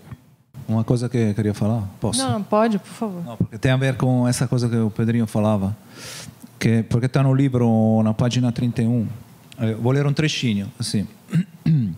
Mas consideremos a samaritana, o Zaqueu. Eu gosto muito quando ele fala dessas personagens no livro. A samaritana, não sei, para quem conhece, a samaritana e Zaqueu são essas personagens que não são mesmo os mais perfeitos, né? Dentro da história da, do Evangelho, né? Samaritana era uma. São os virados no girai, né? São os, os, é. São os borderlines, né? ele é. fala. Ezaqueu, que era um publicano, então um mafioso praticamente. Quem capta até o fundo o que eles são? Quem pode alcançar de verdade toda a humanidade do outro? Quem vê só os cinco maridos que a samaritana, a samaritana tinha? Ou quem vê também a sede profunda daquela mulher? Quem vê só os erros do publicano Zaqueu, ou quem vê também a sua espera, que o faz subir na árvore para interceptar a passagem daquele homem de que ouvira falar. Por isso falei de um encontro, porque é uma forma misteriosa que todo mundo, de uma forma, tá como buscando um olhar, encontrar esse olhar. Humano. Mesmo que a gente, com seu olhar, Jesus não cede um sentimentalismo, mas introduz no mundo um juízo novo, que não reduz o homem ao que é capaz de fazer. A sua capacidade de desempenho, onde todos nós estamos lutamos com uma medida, né, que o mundo te coloca, seja no trabalho, a tua capacidade de desempenho, um olhar que não te olha a partir disso. A samaritana tivera cinco maridos. E o homem com quem vivia não era seu marido. Mas Jesus não parte disso. Começa pedindo-lhe água para beber. E depois ele fala da água viva, que ela não pode deixar de desejar. Isso é, da felicidade que buscou em vão nos relacionamentos que teve, que não podia saciar a sua sede. Tudo o que fazemos, no fundo, incluídos tantos dos nossos erros, é uma tentativa de responder à sede que nos constitui. procuramos a resposta no que não, no que não pode dar. E por isso temos de começar sempre do zero, em busca do que nos satisfaz. E no fim, a pessoa se torna cética. Não acredita que possa haver resposta adequada à sua espera. Jesus introduz um olhar diferente sobre o homem. Revela o homem como relação estrutural com algo de outro e mostra que essa sede é o tecido autêntico do eu. Jesus não aceita a redução moralista do homem ao seu desempenho. Eu, eu gostei demais porque porque é a, síntese, é a síntese do que a gente do Exato. que eu falei aqui, né? É o que você falou, porque é como se também dentro da igreja precisa como reconquistar esse olhar. Com, com o que você olha, com como eu me olho. É a partir dessa sede que eu tenho, é que, é que cada um de nós tem, olho, se você consegue fazer alguma coisa, como você consegue fazer, como você é certinho. Isso aqui é uma, é uma revolução. Por isso, esse momento é, uma, é um momento muito interessante para o livro. Porque também, não só quem está tá dentro da igreja, mas também o pessoal da igreja tem que colocar toda a própria experiência para ser verificada. Não adianta mais viver de discurso. Precisa ver dentro da experiência se vivendo se ajuda a responder a essa sede. Olha, o Lucas está ali com o microfone e tem uma pergunta. Pode Fala, Luiz. falar o seu nome, por favor? Luiz, eles devem conhecer. Ah, já conhece. Nós somos vizinhos. É, E amigos. Isso também, né? Isso é ótimo. É, olha só, há um, um tempo na minha vida que eu ia à missa todo dia, todo domingo. E aí as coisas assim, de uma hora para outra começaram a dar errado. Eu falei, se tu estou fazendo alguma coisa errada. Óbvio, tá dando tudo errado. É porque eu estou fazendo alguma coisa errada. E me afastei um pouco da igreja. Não da religião. Eu, eu digo que sou católico, então eu, eu sei que sou católico, eu não preciso. Não é porque eu fiz primeira comunhão, eu sou católico. E me afastei um pouco da igreja. E aí comecei a olhar esse olhar da fé, que você perguntou aí. Assim, será que eu tenho fé? Aí eu me olhava assim e comecei. Tem um amigo meu no Facebook que todo domingo, todos os dias, coloca o Evangelho no Facebook. Eu comecei a ler o Evangelho e sabe que muda, né? Eu não conheço muito bem, mas muda. É assim, todo ano litúrgico você acaba de ler o Evangelho de um evangelista e muda. Lucas, Mateus. E as mesmas passagens são vistas de óticas diferentes de acordo com o evangelista. E aí eu comecei a ver assim, a gente tem que fazer alguma coisa. A gente tem que fazer alguma coisa. Por que, que eu estou com essa falta de fé? E aí eu comecei a ver assim, a gente tem que. Aí o lance de mudar alguma coisa na sua vida. Amanhã eu vou acordar, tudo vai ser uma maravilha. Não é assim. Aí eu percebi o seguinte: eu comecei a mudar uma única coisa. Eu me prometi que eu ia escutar as pessoas. É uma dificuldade, eu falo para caraca, vocês não têm ideia. Quem me conhece sabe que eu falo muito, como eu estou falando agora. É, então, assim, escutar, mas é escutar qualquer um. Aí, esse, o Pedrinho sabe que a gente na nossa rua tem um buraco que liga a minha rua, Santa Clara, ao bairro Peixoto, onde o Pedrinho mora. Sempre tem alguém ali. E sempre o cara fala alguma coisa e eu nunca escuto. Eu falei, pronto, vai ser o primeiro que eu vou escutar. Aí eu percebi que, mesmo que eu desse não para o que ele estava me pedindo, se eu não escutasse aquela pessoa, eu não me sentia bem. E eu passei a escutar qualquer um na rua que me pare. Virou um hábito. Qualquer maluco que para. Eu, ah, peraí, eu volto. O que, que você falou? Aí, assim, é uma coisa doida. Isso aí, sabe? Que você passa a escutar, desde pedir um real para comprar. Ah, você vai comprar? Toma aqui, vai lá e compra. É isso? Vai, vai te fazer feliz? Então tá bom. E aí as pessoas assim, meus amigos andam assim, tu tá maluco, tu tá falando com qualquer um na rua, não estou falando, eu só estou escutando. E aí é a história do mudar um hábito. Aí eu comecei a entender aquelas leituras do Evangelho. Assim, ali é, não é complicado, é uma mudança na sua vida, como ele falou ali, Você entender o que está escrito ali e, e poder absorver alguma coisa daquilo ali. Não que eu não sinta falta de missa, eu sinto cada vez mais falta. E às vezes eu vou por uma por razão social, aniversário de 90 anos da minha madrinha, alguma coisa assim de que eu vou lá e, e, e eu, eu gosto daquilo ali, eu gosto. Eu só não estou tendo ainda o momento de ir. Então eu queria ver esse negócio, onde está Deus? E o que me convenceu a vir hoje foi uma postagem que tu fez lá no Instagram e que tu falava assim: como é que você vai acreditar numa coisa que a gente não vê? O que é o antônimo da fé? Né? Aí eu pergunto a vocês: pode uma pessoa acreditar nele lá? Jesus estava ali escrito, todo mundo viu. E nesse Deus que é a representação de Jesus, eu também acho Nossa Senhora uma pessoa incrível também, né? Pô, 15 anos, engravida do Espírito Santo, como é que pode um negócio desse? Mas é essa a pergunta que eu queria fazer para vocês dois. Legal. Como é que a gente pode acreditar numa coisa que a gente não está vendo e que está presente no nosso dia a dia e a gente não se percebe disso? Ô, Lula, assim, é, primeiro para eu conheci esse cara é, fazendo o que eu acho que sei lá, o cristão, né, ou o cara que é espiritualizado, e de repente não é cristão, deve fazer, que é a história né, de não se contentar com um pensamento positivo e transformar numa atitude positiva. Eu estava atravessando a rua, indo jogar bola é, no Flamengo, onde eu jogo toda segunda-feira, e aí um cara parou o trânsito para eu, eu, atravessar, né? Tava de bicicleta tal, aí ele parou o trânsito, eu atravessei, eu olhei assim, não conhecia o cara. Aí eu agradeci e tal, fui pro futebol, cheguei no futebol, falei, pô, que legal, ainda tem gente gentil no mundo, cara um cara parou o carro para eu poder atravessar. Aí é, é, eu falei, pô, legal, né? Que bom, coisa boa, né? Os bons são a maioria. Quando eu cheguei em casa, tinha uma, uma mensagem desse cara no Facebook, ele me achou no Facebook, e ele falou: Olha, é, você me agradeceu quando você estava atravessando a rua, mas eu não fiz nada mais do que minha obrigação, eu só retribuí uma gentileza que você fez no corte do Cantagalo, quando você deixou uma senhora grávida atravessar. Né? Eu conheci esse cara assim, né? assim que a gente se conheceu, o Lula fez questão de retribuir, quer dizer, andou alguns quilômetros, me encontrou lá na frente e passou para frente.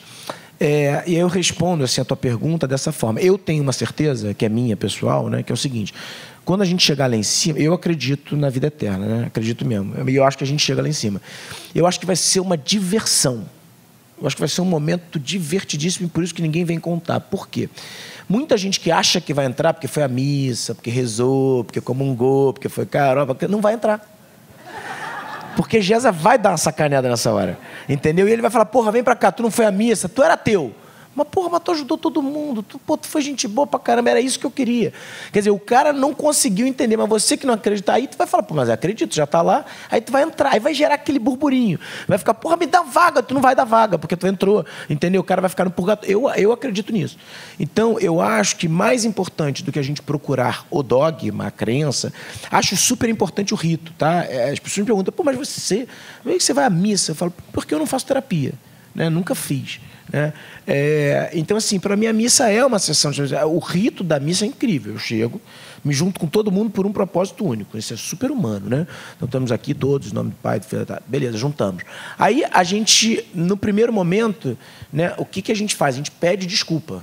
Porra, difícil pra cacete. Então, se acredita ou não, pedir um desculpa em público, todo mundo pede desculpa junto.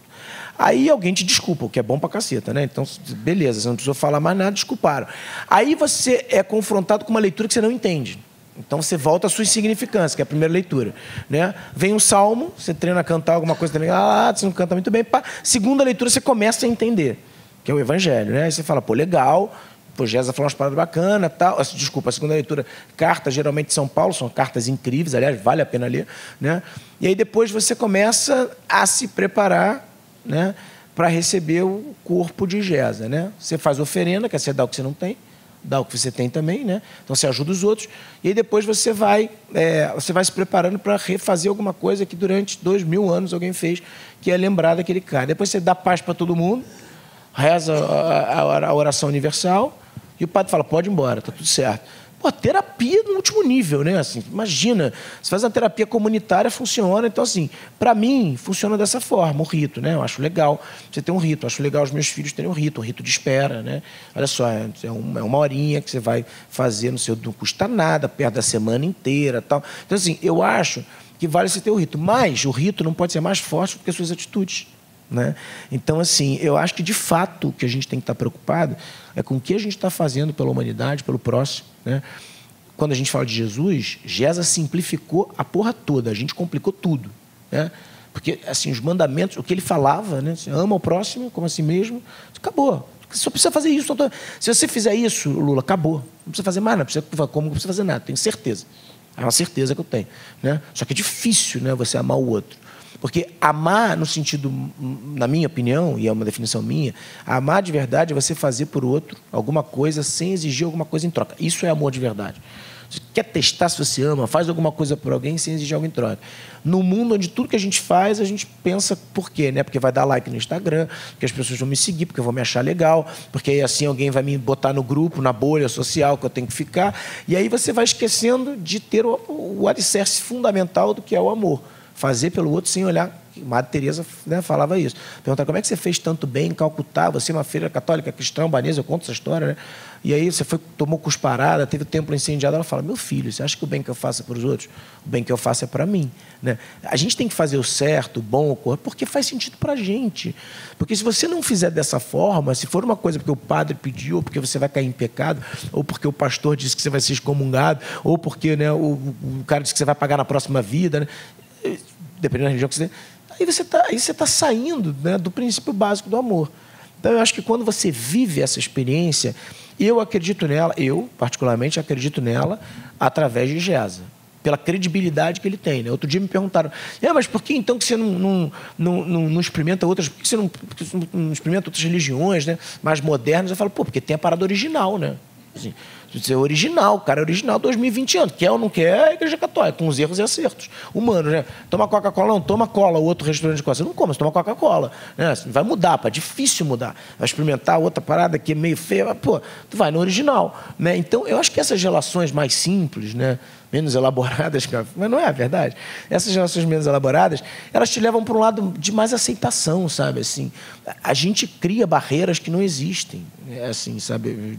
Eu acho que a gente precisa discutir esse sentido. A gente está num momento de mundo onde a gente precisa fazer caridade. E caridade não é doar o que você tem de sobra, isso é obrigação. Caridade é doar o que você não tem. Você não tem, sabe que faz falta para você, faz falta para o outro. Né? Eu falo para todo mundo, a maior caridade que você pode fazer para alguém é doar seu tempo.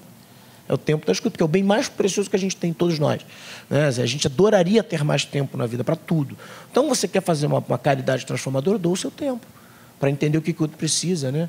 E aí pode ser o inspetor do colégio do seu filho, pode ser o porteiro do prédio, pode ser o gari da rua, pode ser o presidente da empresa, que ninguém fala porque acha que ele não precisa que ninguém fale com ele, ele é o mais solitário da organização. Então, quando você começa a perceber esses olhares, que é muito o discurso de Jesus, que essa, é, né, essa, essa página ali fala muito bem sobre isso, né? Você está julgando, ah, mas o cara não precisa, é o que mais precisa, né? Não é porque ela está lá com cinco maridos, é o contrário, você não está olhando esse lado dela, você está olhando a busca que existe por trás dela. Eu acho que simplesmente simplificar essa questão da fé é fundamental. Assim, pelo menos é como eu tento trabalhar ela dentro de casa, enfim, com os meus filhos, com, com as pessoas. Olha, mais uma pergunta aqui. Eu vou só, enquanto Lucas, você leva, por favor, o microfone. Quer falar alguma coisa, Marco? Vamos na pergunta. Então tá bom. É, boa noite, é um prazer estar mais uma vez, somente com o Pedro.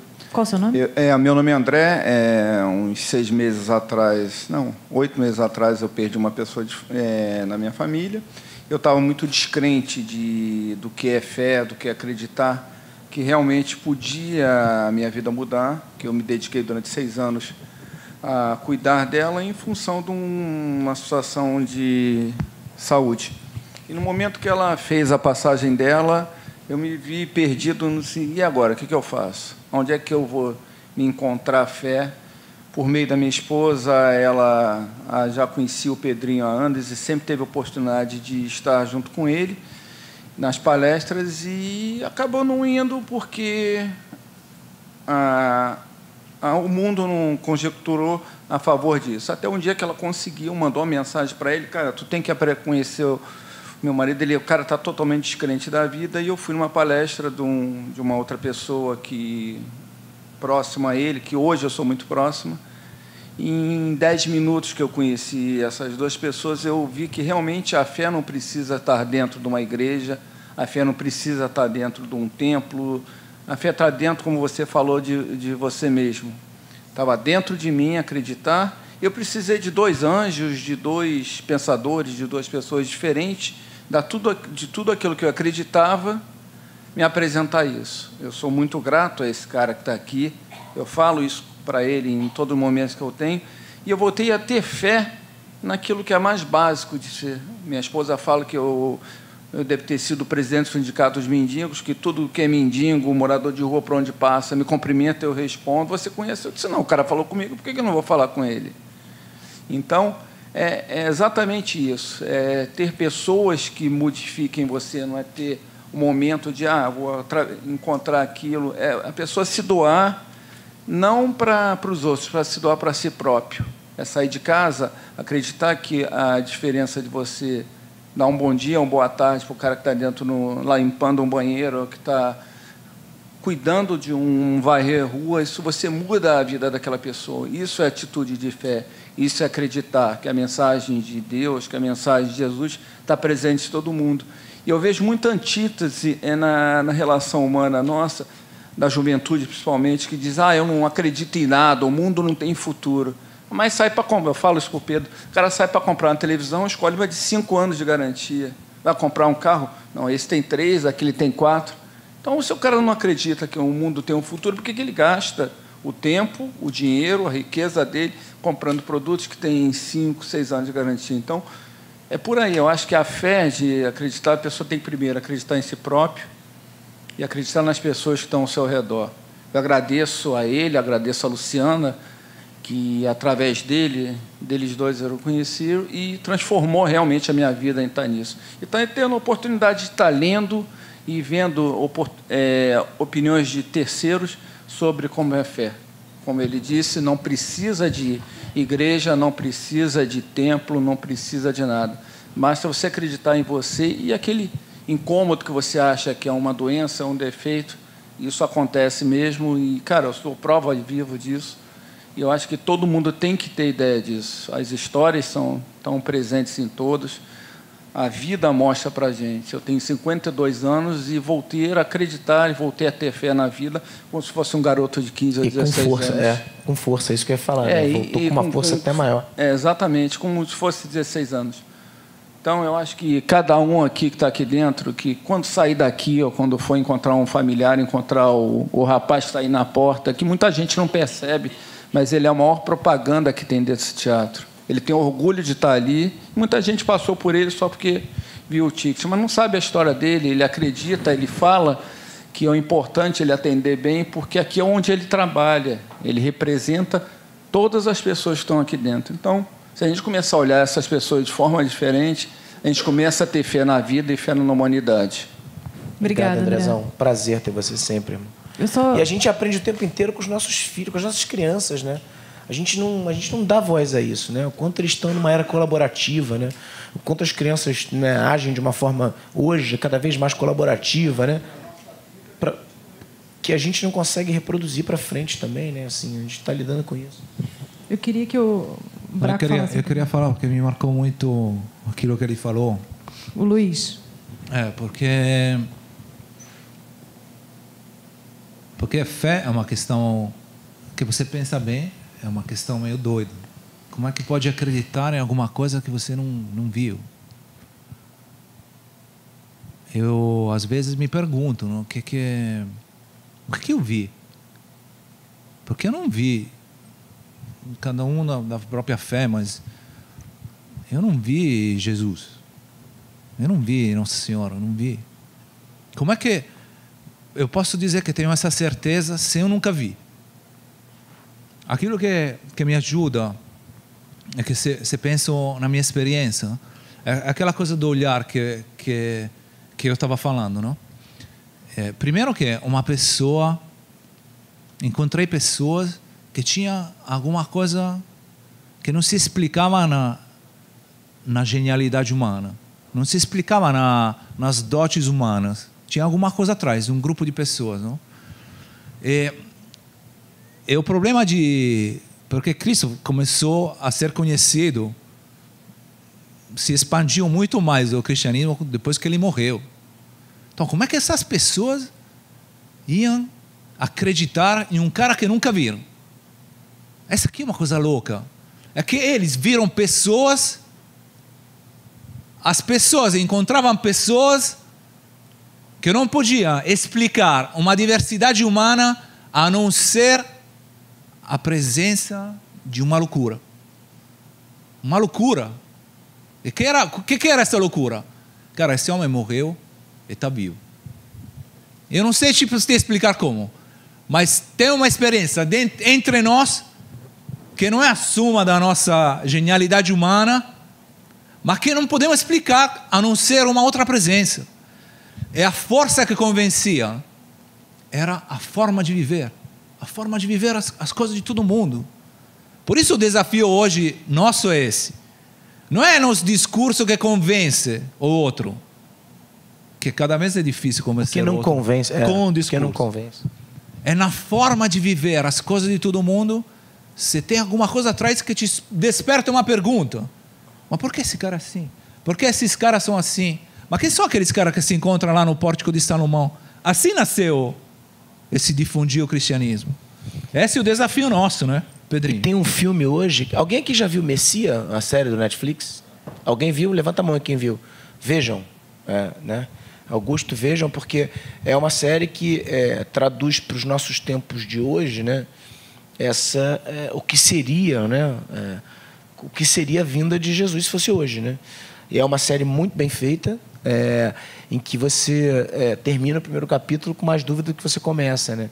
E a trama tem a CIA, tem, tem as questões que a gente está acostumado a ver em filme, e um Jesus meio louco, assim, né? Um Jesus meio diferente, né? Meio blazer assim, né, meio enigmático, que eu acho muito como, como deveria, como deve ter sido para as pessoas daquela época. Vale a pena, assim, essa questão de fé, principalmente, Luiz, vejam que é uma série da Netflix, se não me engano, são 10 capítulos, né? acho, acho que é isso, né? É Messia o nome, é M-E-S-S-S-I-A-H, Messia. Vejam, porque é uma série muito legal fala muito sobre isso, sobre essas dificuldades. Assim. Eu acho que a gente tem uma última pergunta. Não, porque... tem uma aqui também, ó. Tem uma aqui, né? Tem uma só. Ah, tem duas. duas. É isso? Três. Vamos Três. fazer, vai. Será que a gente vai ter tempo ah, para vai, a gente responde rápido. Deixa Rapidinho, então, cada um dizendo o nome e objetivamente para a gente. Meu nome é Gilson. Eu estou gostando muito e quero agradecer de estar aqui com vocês, porque para falar desse, desse, desse, desse jazz aí, eu também tento falar dele. Não falar, vou falar, mas é, foram pontuadas aqui algumas coisas que eu achei interessante como ponto de reflexão para foi, foi direcionado um pouco à instituição, digamos, católica, basicamente, né? E de fato tivemos algumas quebras de paradigmas, estamos tendo, porque o, o Papa Francisco, acompanhando os, os dizeres dele, ele disse uma coisa que, que é impactante, é, que nós estamos numa mudança de época e não numa época de mudança. Né? Entender isso, aquilo que o, o Braco estava dizendo. Porque quando a gente está dentro de uma época e acontecem algumas mudanças dentro dessa época, não é a mudança de época. A mudança de época agora é, vamos, vamos colocar em xeque toda essa cultura cristã, é, os valores, é, a igreja, os padres, e etc, etc, que é, é compreensível. Uma situação dessa que você passa concretamente, onde lá, onde as crianças não podem se manifestar, não podem serem crianças, é, de fato é uma, uma, coisa, uma coisa louca, né?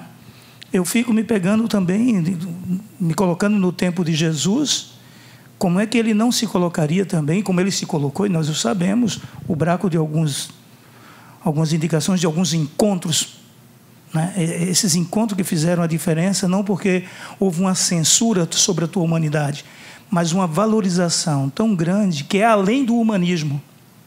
Porque os ateus fazem caridade melhor do que a gente. Os budistas também. Estou falando dessa outra. Os muçulmanos também. Não são cultura cristã. Né? Do que se trata a nossa cultura? Eu acho que os padres também devem, devem se questionar, os bispos da igreja, da questão, que também nós não estamos mais naquela época da cristandade. Tudo agora é posto em desafio.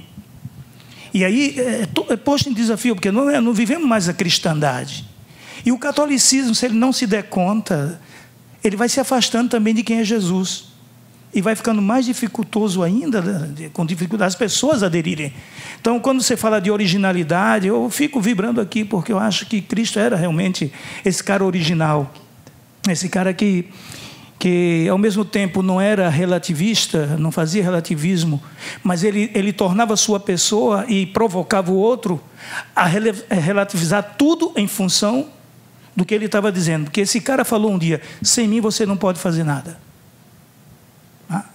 Ah? Então, quem é este homem que está dizendo que sem mim, quem você. Se você diz para um amigo qualquer, você, para a esposa, seja para quem for, você não, porque sem mim você não pode nada, você vai pular no, no, no sapato, quem é você? Mas esse cara teve essa ousadia esse GES aí, de se colocar como um ponto de não retorno, dentro dessa cultura de 2020 anos. Agora, o rito realmente, realmente é chato. Lá na paróquia que eu, que eu, que eu estou, tem a crisma, isso vão os adolescentes, 14, 17 anos. Pô, um saco, não é? Pois bem, lá se faz o seguinte: são eles que têm que dizer quando eles querem se crismar, confirmar a fé deles. Não tem um peso sobre eles. Eles que têm que dizer, olha, eu acho que eu. Porque eles estão fazendo encontros, um grupo de amigos, que estão vivendo uma experiência comum. Lembro também que no, nos Atos dos Apóstolos, depois que Jesus, esse Jesus ressuscitou e foi embora, aquele grupo de amigos, o que era amigo dele, continuava se encontrando ali no Porto de Salomão, na porta direita lá do templo. Morrendo de medo, né? E, morrendo exato, de medo. Morrendo de medo. Merda, é. E quem passava perguntava abismado: mas quem são esses malucos? Quer dizer, a gente precisa de um lugar, de um lugar de encontro. A gente pode ser numa praça, pode ser. Aonde estão os amigos? É, faço o voto de que é, as igrejas se tornem um lugar mais, mais gostoso de se encontrar é, processo, do que de censura. Esse processo está Faço tá, o voto, Está acontecendo, né? Está acontecendo. Eu estava outro dia na, na Paz e aí vi lá grupo dos segundos casados, né? grupo de casais para segundo casado. Não, só quero encerrar, não estou encerrando só isso, tá? Só para dizer que eu sou o Padre Gil, estou muito feliz de estar aqui com vocês. Obrigado, Padre. Obrigada.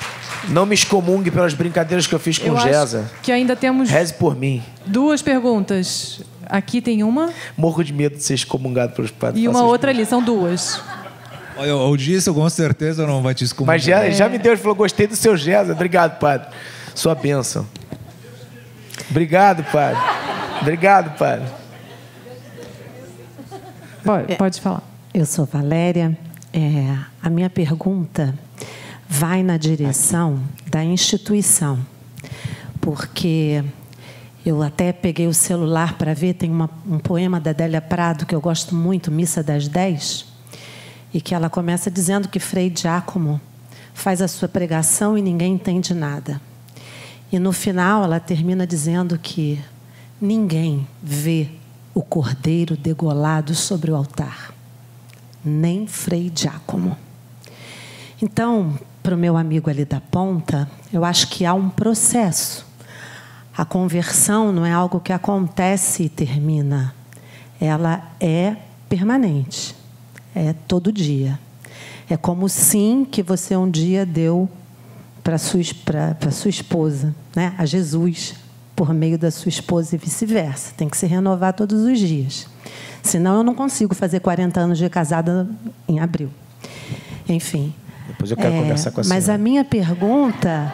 Fazendo 10 É a tá seguinte, porque eu, quer dizer, embora entenda, é um processo, é um caminho, né? Ele está redescobrindo uma falta que existe nele, que ele percebe que a fé é uma possibilidade de encontrar a resposta para algo que possa preencher essa falta. Mas, é, na minha experiência, eu vou à missa, quando possível, diariamente, porque eu preciso desse cordeiro degolado sobre o altar. Quer dizer, ele se deu a mim e eu creio que naquele altar, não em qualquer um, mas num altar determinado, acontece a grande mudança, né? O pão se transforma em carne e o vinho se transforma em sangue. Então, a minha pergunta é: qual é o lugar da instituição hoje no mundo e para nós. Porque senão eu posso ficar vivendo a minha fé, fazendo a minha oração sozinha na minha casa.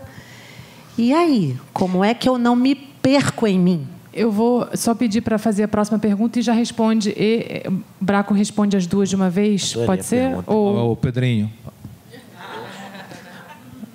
é, faz Adorei a pergunta. é, a próxima pergunta já para já responder de uma vez, porque se a gente se A alongar, gente tá- o- a gente tenta aqui às 10.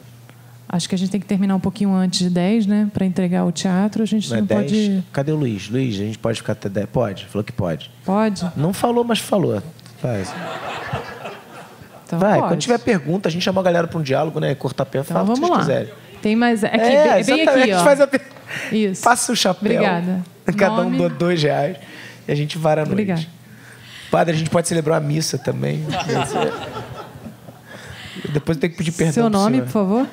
Oi, meu nome é Elaine. É, não é exatamente uma pergunta, é porque, Claro. em cima de tudo isso que vocês estão falando, eu acabei me lembrando aqui de uma coisa que acabo sempre falando, que a gente fala muito para os nossos filhos, né? Que é, a questão da fé, ela vem muito de dentro de você, como você enxerga. E a gente brinca com eles que a gente tem que usar o óculos das coisas boas e o óculos das coisas ruins. Então, toda vez que acontece alguma coisa que eles estão chateados que aquilo aconteceu, você pegou o óculos errado, você está olhando com o óculos das coisas ruins. Experimenta botar o óculos das coisas boas, que foi o que você fez com a senhora que foi lá e você botou o óculos das coisas boas, que a gente fala com eles que é o óculos do Espírito Santo que é onde a gente acha essa fé, né? Que quando a gente usa esse óculos do Espírito Santo, é que a gente consegue trazer aquilo tudo que a gente não consegue ver, fazer a igreja viva ou a fé viva, não importa qual seja a igreja, mas é sempre quando a gente usa o óculos das coisas boas, né? E, e eu, eu fiquei me lembrando disso aqui o tempo todo, que eu falo, poxa, é, eu perdi uma pessoa agora também. Meu pai fez cinco meses ontem de falecido. Eu te encontrei um dia depois, lembra? Exatamente.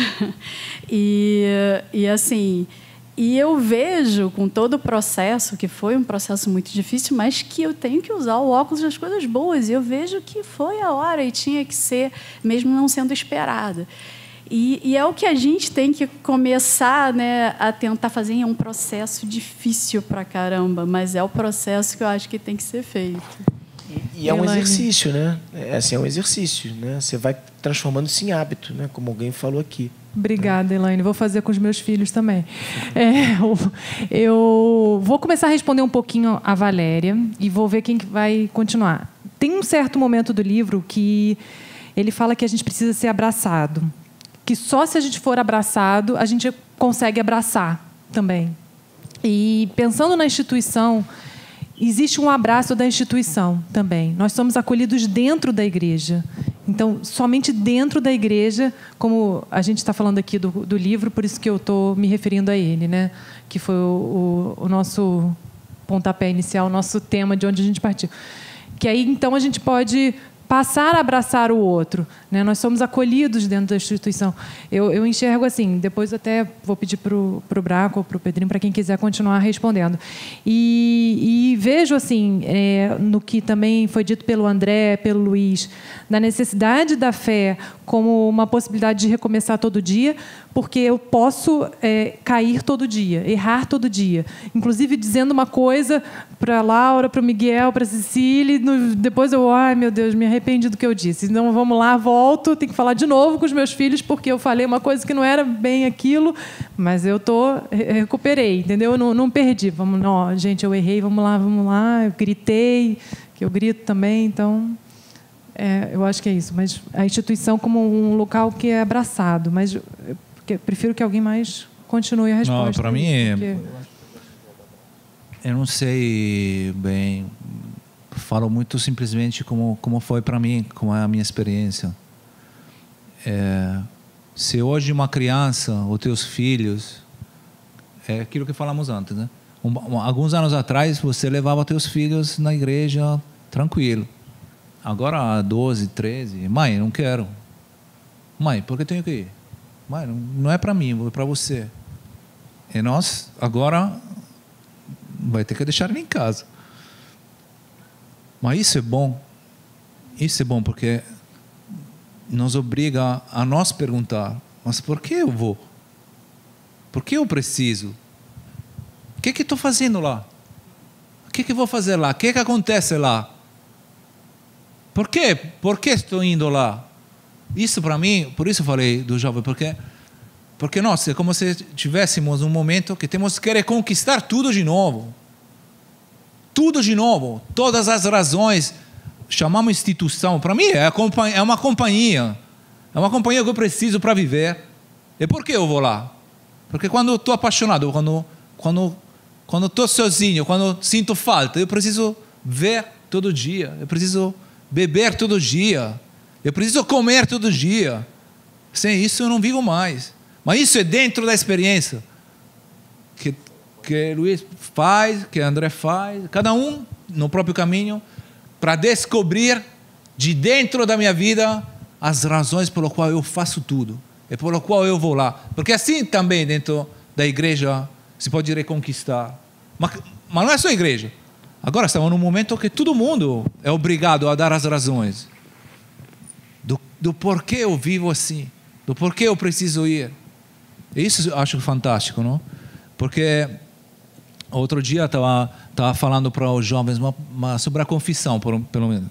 É, a gente está falando confissão. Por que precisa se confessar? Confissão parece uma coisa absurda, não? Vai lá, cara, tipo, fez uma, uma merda, eu vou lá para me confessar. Mas geralmente. Padre, tipo, excomunga ele também, tá? Se não só foca, só foca em mim, a parada, excomunga ele também. Mas geralmente, quando também quando a merda é muito grande, né? Você né, tem tão vergonha que deixa passar um tempo, porque, cara, não vou falar para uma coisa dessa, né?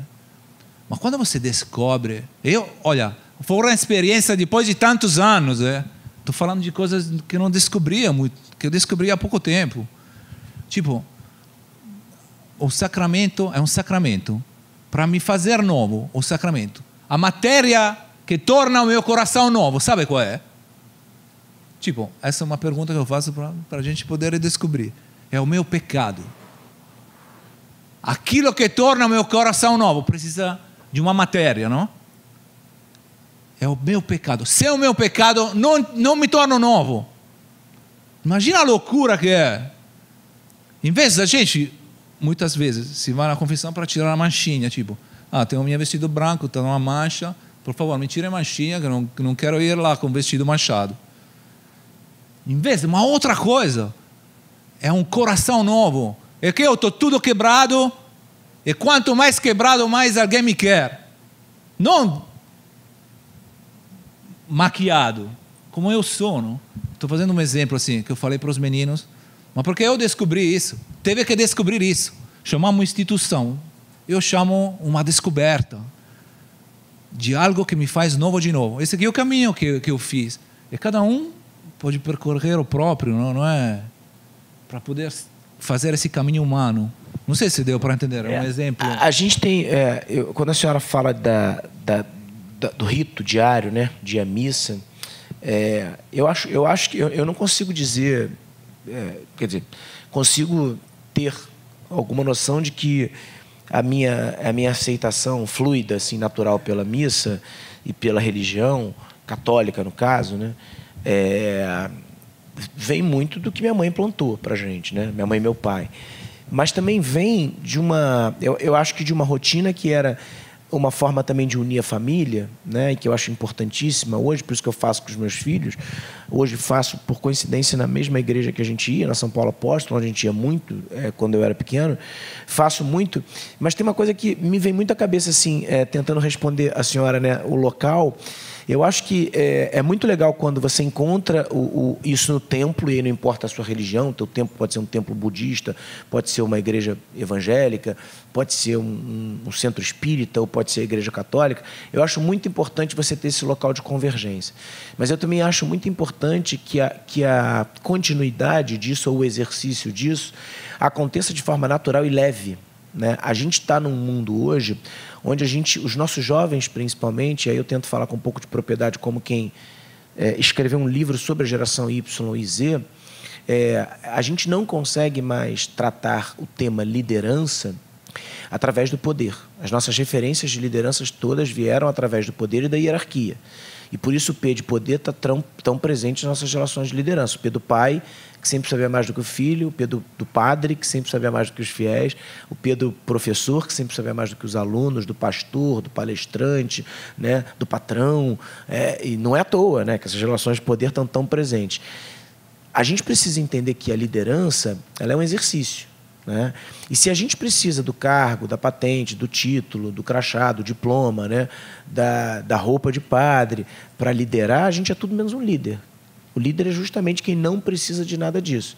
Então, quando a gente consegue, através de um exemplo, com leveza, com naturalidade, provar a força que existe por trás do que você acredita, no caso aqui a fé, mas que poderia ser qualquer outra coisa, né? você tem mais chance de angariar pessoas. Eu tenho um exemplo muito nítido dessa ortodoxia de rito, que era missa, que a gente ia todo domingo, né, Gabi? Com a mamãe, com o papai, Isabela, nós todos. Mas eu tenho uma referência da minha mãe. A primeira, quando as pessoas me falam assim, jovens são multitelas. A primeira pessoa que eu vi multitela na vida foi a minha mãe. Porque a minha mãe, né, Gabi não me deixa mentir, ela ficava, ela, ela, a mamãe, ela, ela tá deitada na cama dela e ela tá vendo o especial do Roberto Carlos, ou ela tá vendo um filme, ela tá escutando um samba, ela tá rezando terço ao mesmo tempo, né, mamãe? Né, Gabi? Quantas vezes a gente viu isso? E ela conversa com você. Ela é completamente multifacetada, ela é A completamente multitela. É uma coisa de louco. A, mamãe. a sua mãe é essa, essa de branco? É de branco? Não, Não, é aqui ali é, em cima. Cadê, cadê a mãe da Beth? Cadê a mãe da? Ah, é. A mamãe faz isso tudo ao mesmo tempo. E são coisas que não tem nada a ver. O samba tá falando do, do- da macumba, né? Um rito para tchapum, Aí ela tá vendo o Roberto Carlos cantando, ela tá rezando o texto, tá conversando contigo. Eu falava, porra, fé é leve. Que maneiro que ela faz isso tudo. Aí eu falava, mãe, você tá rezando? Não, filho, pode falar primeiro o mistério. pra- E a gente falava e ela entrava no meio do assunto. Minha mãe é louca pra cacete. Mas assim, mas, é uma- mas, mas assim, aí vem o contraponto, né? Que eu acho que, é- que é assim, quando a gente consegue entregar isso para os jovens, por exemplo, né? Isso é muito bom. Eu tento, né? Eu sou um, um fã, assim, eu sou uma alma gêmea da minha mãe. Então, eu, é, eu- tudo que eu, que eu. Minha mãe, minha mãe é a maior educadora que eu acho que já existiu no planeta, assim. Mas muito pela questão dela conseguir fazer tudo com muita leveza, assim, né? Com muita diversão. A mamãe é uma pessoa que sempre riu dos, dos, dos- das próprias, dos próprios problemas dela, né? Então, e eu sempre vejo ela rezando. Então, se minha mãe está rezando o tempo inteiro. Ontem, eu fui dar uma palestra é, em Itaipava ontem. E aí eu falei, vou voltar no mesmo dia. Minha filha tinha me pedido para levar ela na natação. Eu aí eu falei, vou voltar cedo. Eu não voltei, o áudio da minha mãe, eu vou mostrar para vocês como é que é o áudio. Eu vou mostrar no microfone. É porque, é porque assim, eu acho, que, eu acho que quando você tem essa leveza, você consegue entender de uma outra forma. É, assim, eu, acho, eu acho realmente isso importante aqui. Pedrinho, não vem não, dorme aí, tá, meu filho? Tá caindo o mundo. Eu tô aqui em pânico que você tá aí. Vem só amanhã de manhã, meu filho, tá bom, meu filho? Me promete. Um beijo, amor. Fica com Deus, com Nossa Senhora. É assim, a, a gente brincava muito sobre isso. A mamãe ia levar a gente na, na, na- na- ela foi light. A gente ia sair de casa, a mãe falava: Peraí, não vai não, não vai não. Meu filho, cuidado, olha, se alguém chegar no banheiro e tentar mexer com você, você não deixa que esses caras são bons de lábia. Aí eu falava: Banheiro, né? Isso, sei lá, com 12 anos de idade, ia jogar. Aí ela falava: Vai com São Judas, São Pedro, Nossa Senhora, São Bento, Santo Antônio. Eu falava: Cara, eu tenho que contratar uma van, mãe. Ela falou: Mas não tem problema, é pra ir todo mundo mesmo junto com você, porque cerca tudo de tudo quanto é lado. Então, assim, quando você, quando você tem uma leveza, né? Se vocês riram, imagina, a gente ri com ela até hoje, né? Sobre isso. Então, assim, hã? Ainda joga no bicho, é, exatamente. Né? Então, assim, eu acho, eu acho que a leveza é importante. Assim, tudo que você passa com leveza, né? O Papa Francisco é um artista nisso. Né? Assim, o quanto ele consegue é, deixar a religião um tema leve. Né? Quando eu digo religião, eu estou falando do, do, do processo ecumênico. Né? É assim, como é, Cara, é sensacional quando ele chama o padre ortodoxo para estar do lado dele e ele já fala: a gente está próximo da igreja, a gente também está próximo do. Né, do... Eu, eu acho que essa leveza é necessária. Então, no meu caso, né, respondendo a senhora, eu acho que esse contraponto entre. É o que eu tento dar para os meus filhos hoje. Né? Eu levo eles à missa eu falo: minha filha fala, olha, papai, ela me pede para ir à missa, tem três anos. Né? Por quê? Porque na missa ela pode tudo. Eu falei: olha, essa é casa do pai e do papai. Então pode a porra toda. Se no papai já pode, mas a vovó não pode. Imagina no, no vovô, do, no pai do vovô. Ele é pai da porra toda. Né? Aí ela vai lá, ela brinca, ela deita no chão, ela dança. Minha filha agora faz dança com couro da, da Nossa Senhora de Copacabana, que eu levo ela cada um lugar. O cara toca o piano, ela desconcentra as mulheres, né? porque ela dança. Aí ela faz uma dancinha, ela levanta só um pezinho. Aí fica todo mundo rindo, aí eu morro de rir junto com ela. Eu acho que você precisa, eu acho que precisa ter leveza, porque o que entra de forma leve, né? o que te traz essa sensação de bem-estar, né? mesmo no momento que você está se sentindo mais que questionado tal, eu acho que é muito legal. Mas eu acho que também a gente precisa da imagem do cordeiro degolado, né? do sofrimento, que é uma coisa que, por exemplo, eu mostro muito para meus filhos. Né? A cruz. A cruz é um símbolo, depende da religião que você tenha. Né?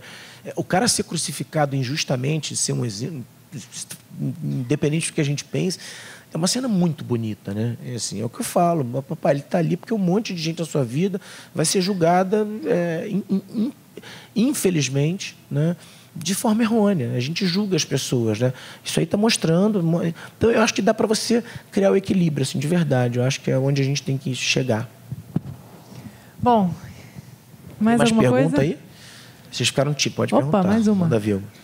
Nome, por favor. Boa noite, eu sou Augusto. Meu amigo de, de infância. Estudar com esse Pô. Pedrinho aí, um cara incrível. É, eu, esses dias, na reunião da minha escola, da escola do meu filho, né? Tenho um filho de 5 anos. Eu fiquei. Eu, a gente estava falando, a escola é construtivista, então ela tem uma, um posicionamento muito importante, né? Hoje, nos dias de hoje, em relação à, à ecologia, ao planeta, à sustentabilidade e tal. Aí eu fiz uma pergunta, é, eu falei, gente, e para ano, existe algum projeto social, alguma coisa que as crianças tenham que né, lidar com essa questão. Aí todo mundo ficou em silêncio, assim, não. Aí eu falei, pô, desculpa entrar talvez nesse, sair um pouco da reunião aqui, mas é que eu eu estou numa fase, meu filho está com cinco anos, eu faço eventualmente algumas ações sociais, até fiz no Natal o Jardim Gramacho com criança.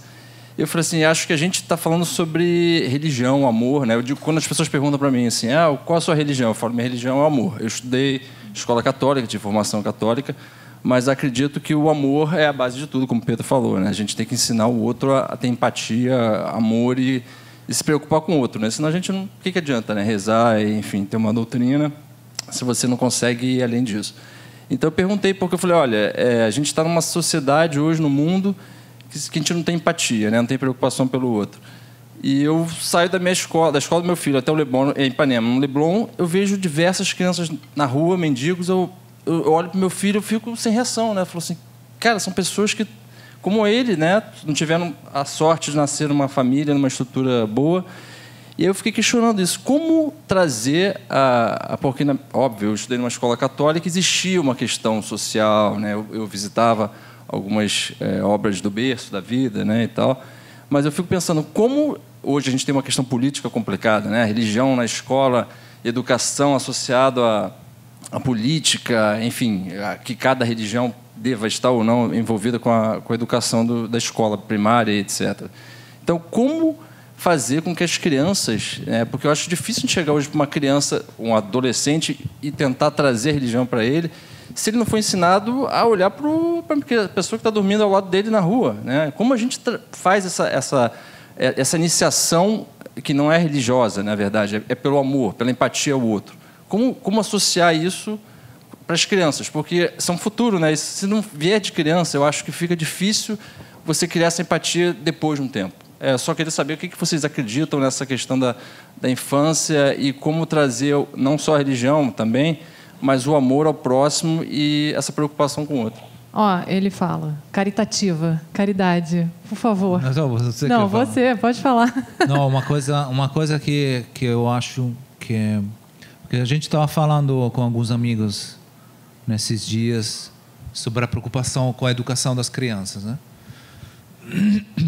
tipo, é, temos que pensar a encontros, fazer alguma coisa para eles. Claro que, dependendo da, da idade, tem vários, vários tipos de propostas, né?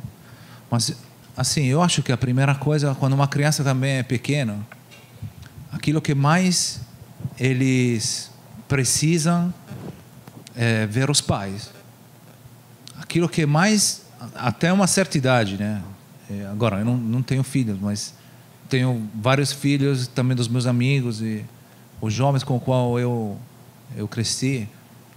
É que eles vêem muito, respiram. É como se se espelhassem naquilo que os pais vê.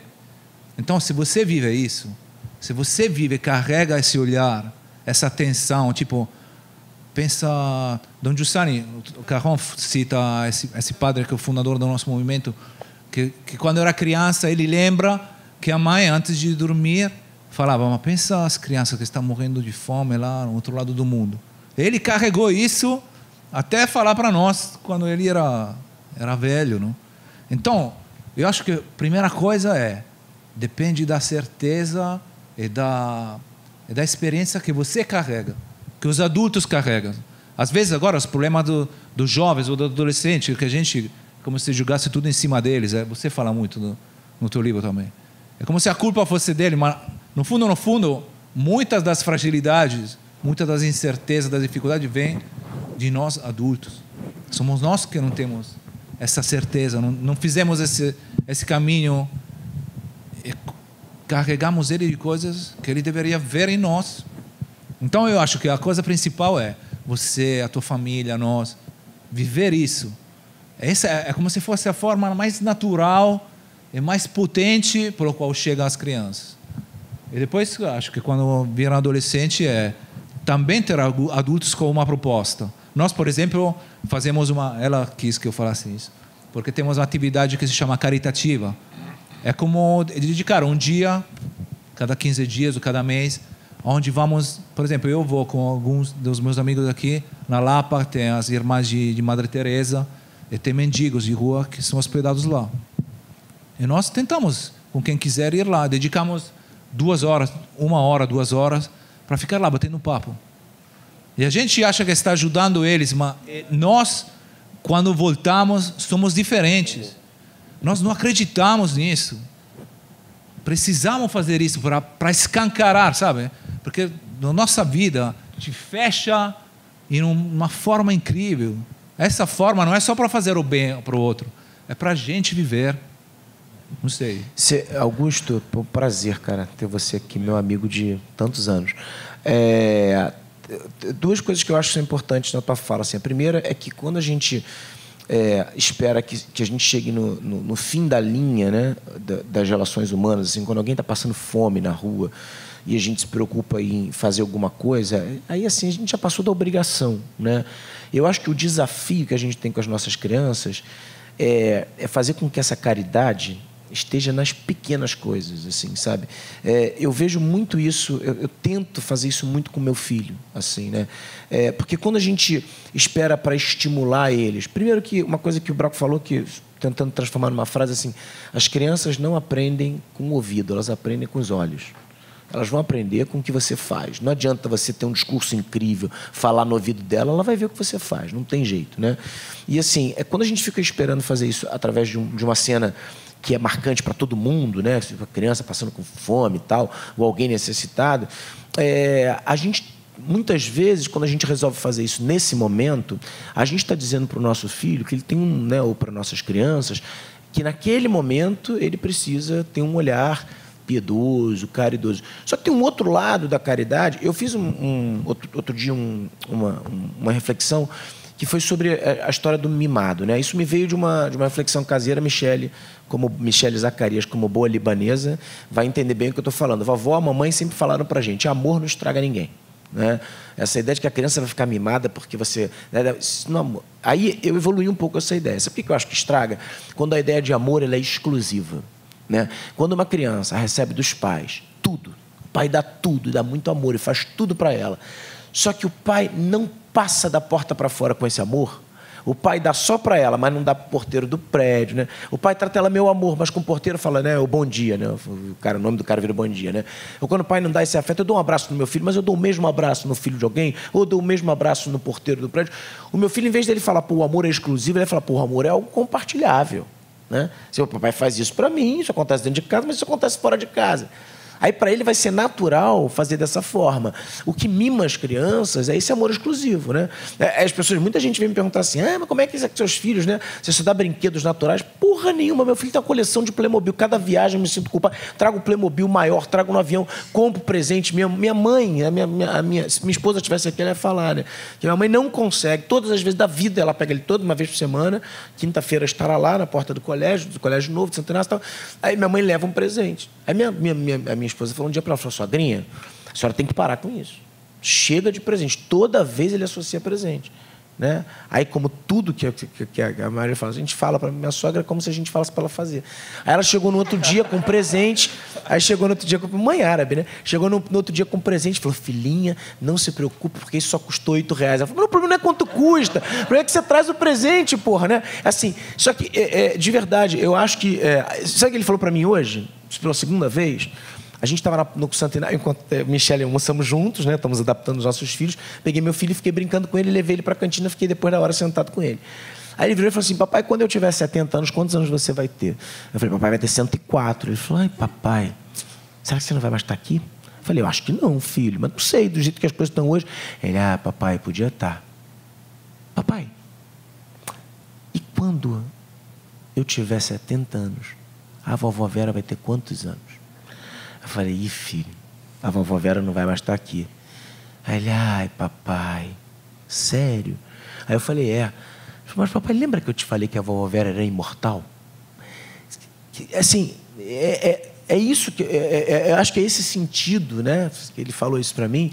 E a mamãe é que deseduca. Eu não sei como é que a minha mulher gosta dela e ama ela, né? Porque a mamãe faz tudo que a gente fala para ela não fazer nesse sentido. Só que eu acho que a noção, ela precisa ser do compa... a gente precisa de fato estimular as nossas crianças a compartilharem.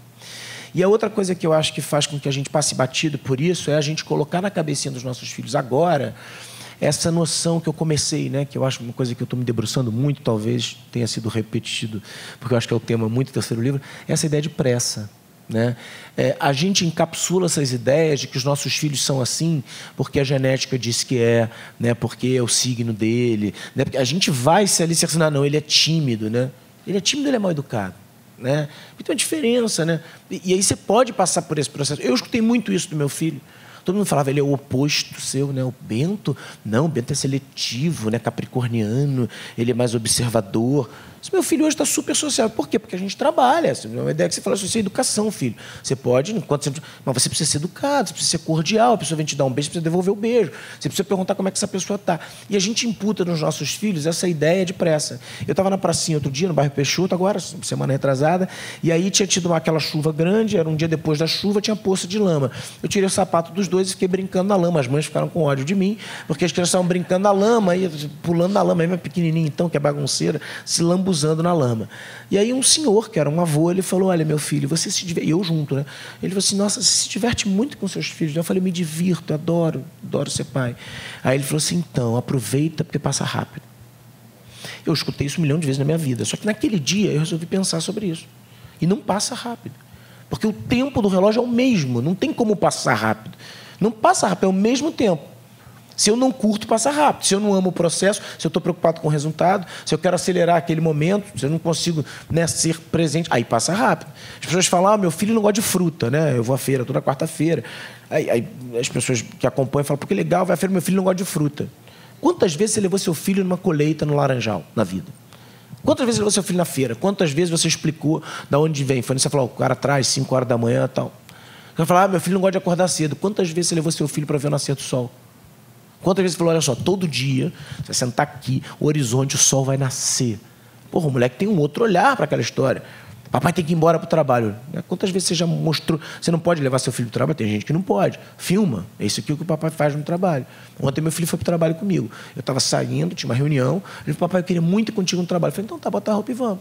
Sentou lá, participou da reunião, almoçou, foi embora, se vestiu, foi para a escola, depois de... Então, assim, é, é essa relação que a gente tem de pressa, de corrida, né, de um olhar é, é totalmente desumanizado do que está acontecendo em volta da gente, é o que faz com que as nossas crianças virem robô. Né? É a história do telefone. As pessoas falam assim, ah, crianças não têm telefone celular. Meu, meu filho tem, joga Brawl Stars, joga FIFA, faz tudo normal, né, como qualquer criança. Só que tem uma coisa que as pessoas ficam muito chocadas. Eu peço o telefone para meu filho e me devolve imediatamente na hora. Né? E ele fala, papai, toma. Não importa em que fase ele está do jogo, não importa o momento. Sabe por quê? Porque eu criei com meu filho uma história que ela é empática. A gente, desde o começo, falei, amor, dá vontade de mexer, esse negócio é muito legal, muito legal mesmo. Tem um monte de coisa bacana. Mas se a gente ficar olhando para isso quando a gente estiver junto, a gente vai perder um tempo junto. Então, quando a gente estiver junto, vamos combinar que não tem nada mais importante do que isso. Mas vão ter alguns momentos que a gente vai querer ver. Então, toda vez que a gente quiser fazer isso, a gente avisa para o outro. Então, se eu estou com meu filho em casa e às vezes eu preciso pegar um telefone porque alguém vai me ligar, o Braco vai ligar, toco o telefone, eu vejo que é o Braco, eu falo, lembra que o papai falou que o tio Braco ia ligar? Você me dá licença, filho, para atender? Então, ele sabe que aquilo. Ele fala, claro, papai, vai lá. Da mesma maneira que quando ele quer, ele fala, papai, agora que você está, eu posso fazer isso. Né? Quer dizer, se você conversa, se você tem tempo para investir nessa relação, que ela é diária, que ela acontece todo dia, você vai quebrando uma série de paradigmas. Né? Você fala, não, você não pode, você não pode. Papai falava uma frase, é proibido proibir. Né? Papai cansava de falar isso em casa. Mas em casa a gente sempre teve a conversa. Ele agora falou outro dia, ele indo comigo no carro, ele falou, papai. É, você só conversa comigo, né? Você nunca briga, né? Eu falo, não preciso. Ele falou, é muito legal isso, papai. Né? Então, assim, você pode criar, eu não estou falando que eu vou ser perfeito, muito pelo contrário, que meu filho não faz, faz manha, faz pirraça, faz um monte de coisa. Mas, mas dá para investir nessa relação, dá para ser bacana, né, Augusto? Então, assim, eu acho que não é cristalizar essa ideia de que a gente precisa estabelecer esses locais, né? Assim, então, o bem, o bem tem que ser feito porque é bom. Tem que fazer bem para ele. Ele tem que se sentir bem com isso, né? Acho que é isso, assim. Mais alguma coisa? Não. Mais alguma pergunta que ela faça, Carla? ah, tem mais uma. Já estendemos até duas horas da manhã. É. Não, eu preciso entregar o teatro. Precisa nada. É, é, é tá bom, tá Faço bom. palestra aqui todo mês. Pode falar. A ideia do Augusto foi boa. A gente faz uma, uma caixinha para pagar a multa. É, Tá acho, bom. ok. Fala, pode Agora falar. que bom. Para finalizar, que eu acho que tem muito a ver, é, o Augusto, como você, tem filhos pequenos. A minha pergunta vai ser bem Você objetiva. tem um galalau. É, pois é, que já está com 20. O que fazer? Eu escuto muito e a gente tem a tendência de, de é, olhar um pouco, vamos dizer assim, mais direcionado para a idade que os nossos filhos estão e, e, e conviver com mais essa juventude. Eu escuto muito que essa, essa, nessa faixa etária 18, 19 até os 25, vamos colocar assim, 25, 26, é, é, eu tenho escutado muito isso, que é uma juventude muito egocêntrica, muito olhando muito para si e, e, eventualmente pode não ter tido contato com essa caridade, com essa seja lá por que razão for. Como é que a gente uma coisa prática não teve, não teve contato e tal e agora está com 17, 18, 19 anos. Como é que a gente recupera isso? Como é que a gente tenta é, é, como pai, como amigo, como tio, seja lá como for, como é que a gente tenta, depois de não, não ter tido, que é, vai ser mais difícil, né? Mas como é, que a gente, como é que a gente tenta recuperar isso? É, eu, eu, eu, tenho falado muito isso para os jovens. Né? Primeiro, a gente precisa deixar de condená-los por estarem na posição que estão. Né? Pediram essa liderança, pediram, como algum tempo atrás as mulheres, por exemplo, pediram né, o seu espaço na sociedade. Tem aquela metáfora, ah, queimou o sutiã. Os jovens fizeram mais ou menos isso. Né? Eles pediram um empoderamento para serem líderes. Só que tem uma coisa que é, é muito importante, assim, Carlos, que, eu, que eu acho. Né? Quando a gente quer ser pai, é, e, e eu quis sempre ser pai, fui muito treinado com os meus sobrinhos tal, né? Mas a gente só a gente só começa a aprender a ser pai quando o filho nasce, né? O pai nasce junto com o filho, né? E aí a gente começa a aprender durante o tempo, ou seja, a gente não está pronto para aquilo, né? Acho que a mesma coisa acontece com, esse, com esses comportamentos. Os nossos jovens que estão egocêntricos, e, e, eu não sei se a palavra é egocêntrico ou se estão é, com relações mais é, menos, convi menos possibilidade de convívio social, assim, né? Estão dentro de bolhas, né? Porque é, é um convívio muito com o parecido, com o próximo, né? Com as pessoas que pensam igual, tal. Eu acho que a gente começa a estourar essas bolhas, assim, esses comportamentos, quando a gente entende que eles estão sim numa postura de liderança, mas que não necessariamente eles sabem ser líderes dessa transformação, que é essa transformação tecnológica, né, da hiperconectividade, né, de você resolver tudo através de um telefone. Então você precisa de menos pessoas para te ajudar a resolver os problemas que até então seus pais precisavam de pessoas para resolver, como ir no banco, tratar bem a caixa do banco, né, como falar com, quer dizer, tudo hoje, né, você pede a comida pelo aplicativo, você pede o carro pelo, é louco, né? E, e, e o pior de tudo, né? Você para você para você comer comida caseira, você vai no restaurante, né? Que serve comida caseira, que deveria ter na sua casa, porque é comida caseira. Quer dizer, é, eu acho que o que a gente precisa fazer é reconstruir um pouco esse caminho, mas é, sendo muito benevolente com essa posição que eles estão, né? E aí, como acho que como uma mensagem otimista de quem está muito envolvido com isso, eles estão muito afim de escutar o que a gente tem para dizer, desde que não venha através dessa relação de poder e de hierarquia até então estabelecida né, nessa doutrina. E aí vale por todas as áreas. Eu, eu encontro muitos, muitos jovens nas, nas palestras que eu faço, aqui no teatro, por exemplo, nos encontros, e é impressionante a quantidade de jovens que fazem depoimentos muito bacanas do tipo, olha só, muito legal eu ter escutado da forma que você falou alguma coisa que dizia respeito a mim. Eu nunca escutei dessa forma, então me afastei. Né? É, a gente também está sem é, a gente também está sem paciência. Essa sensação de nostalgia de que o mundo sempre foi melhor na nossa época, né?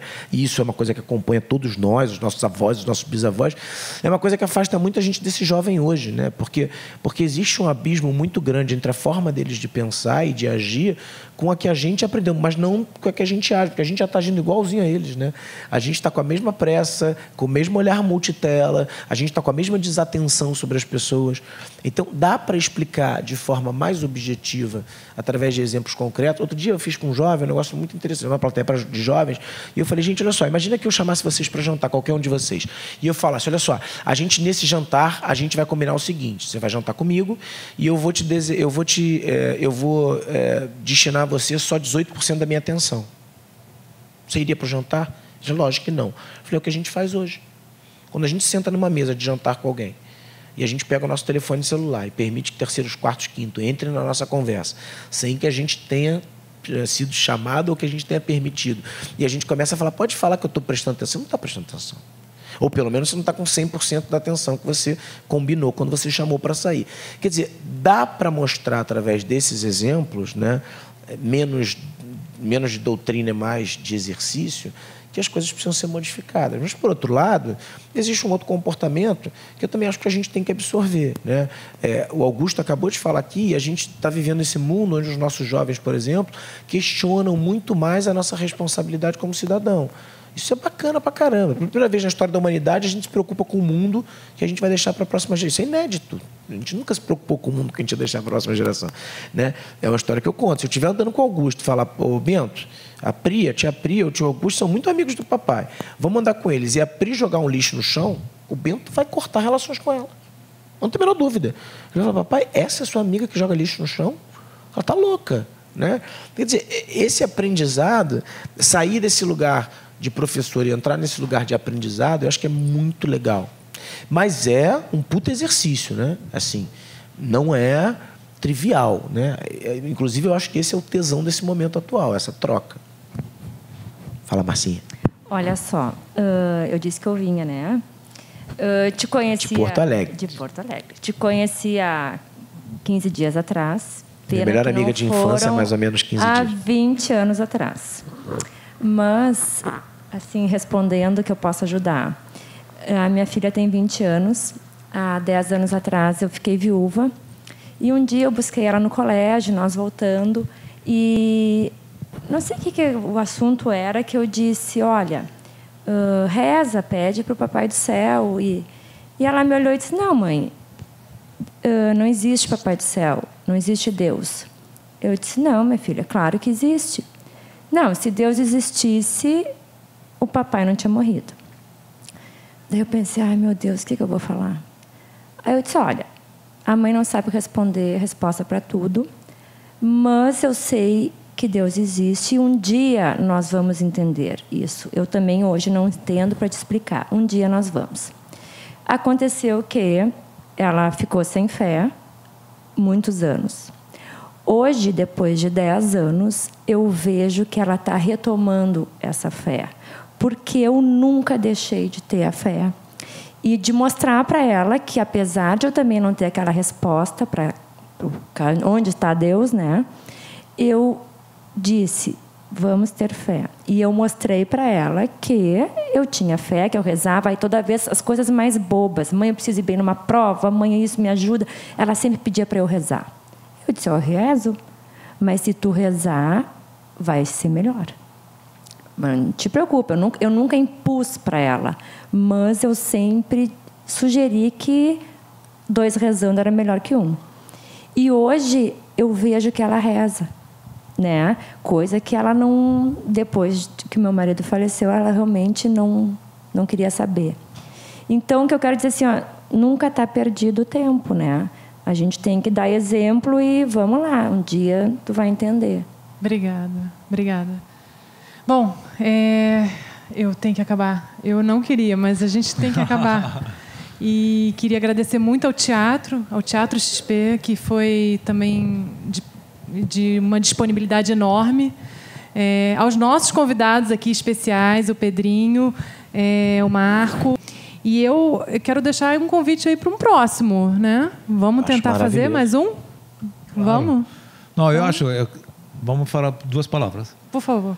Eu queria agradecer porque o fato também de ter tanta, tantas perguntas é muito bom também porque nós fazemos muitos encontros do movimento com o nosso é de bom encontrar sabe pessoas novas pessoas que também não são do nosso do nosso círculo sempre porque te ajuda a, a se questionar a verificar a você responder você eu acho um encontro desse fantástico eu queria agradecer ao, ao Pedrinho por essa possibilidade também Prazer. Pô, eu que agradeço a tanta gente querida que veio aqui.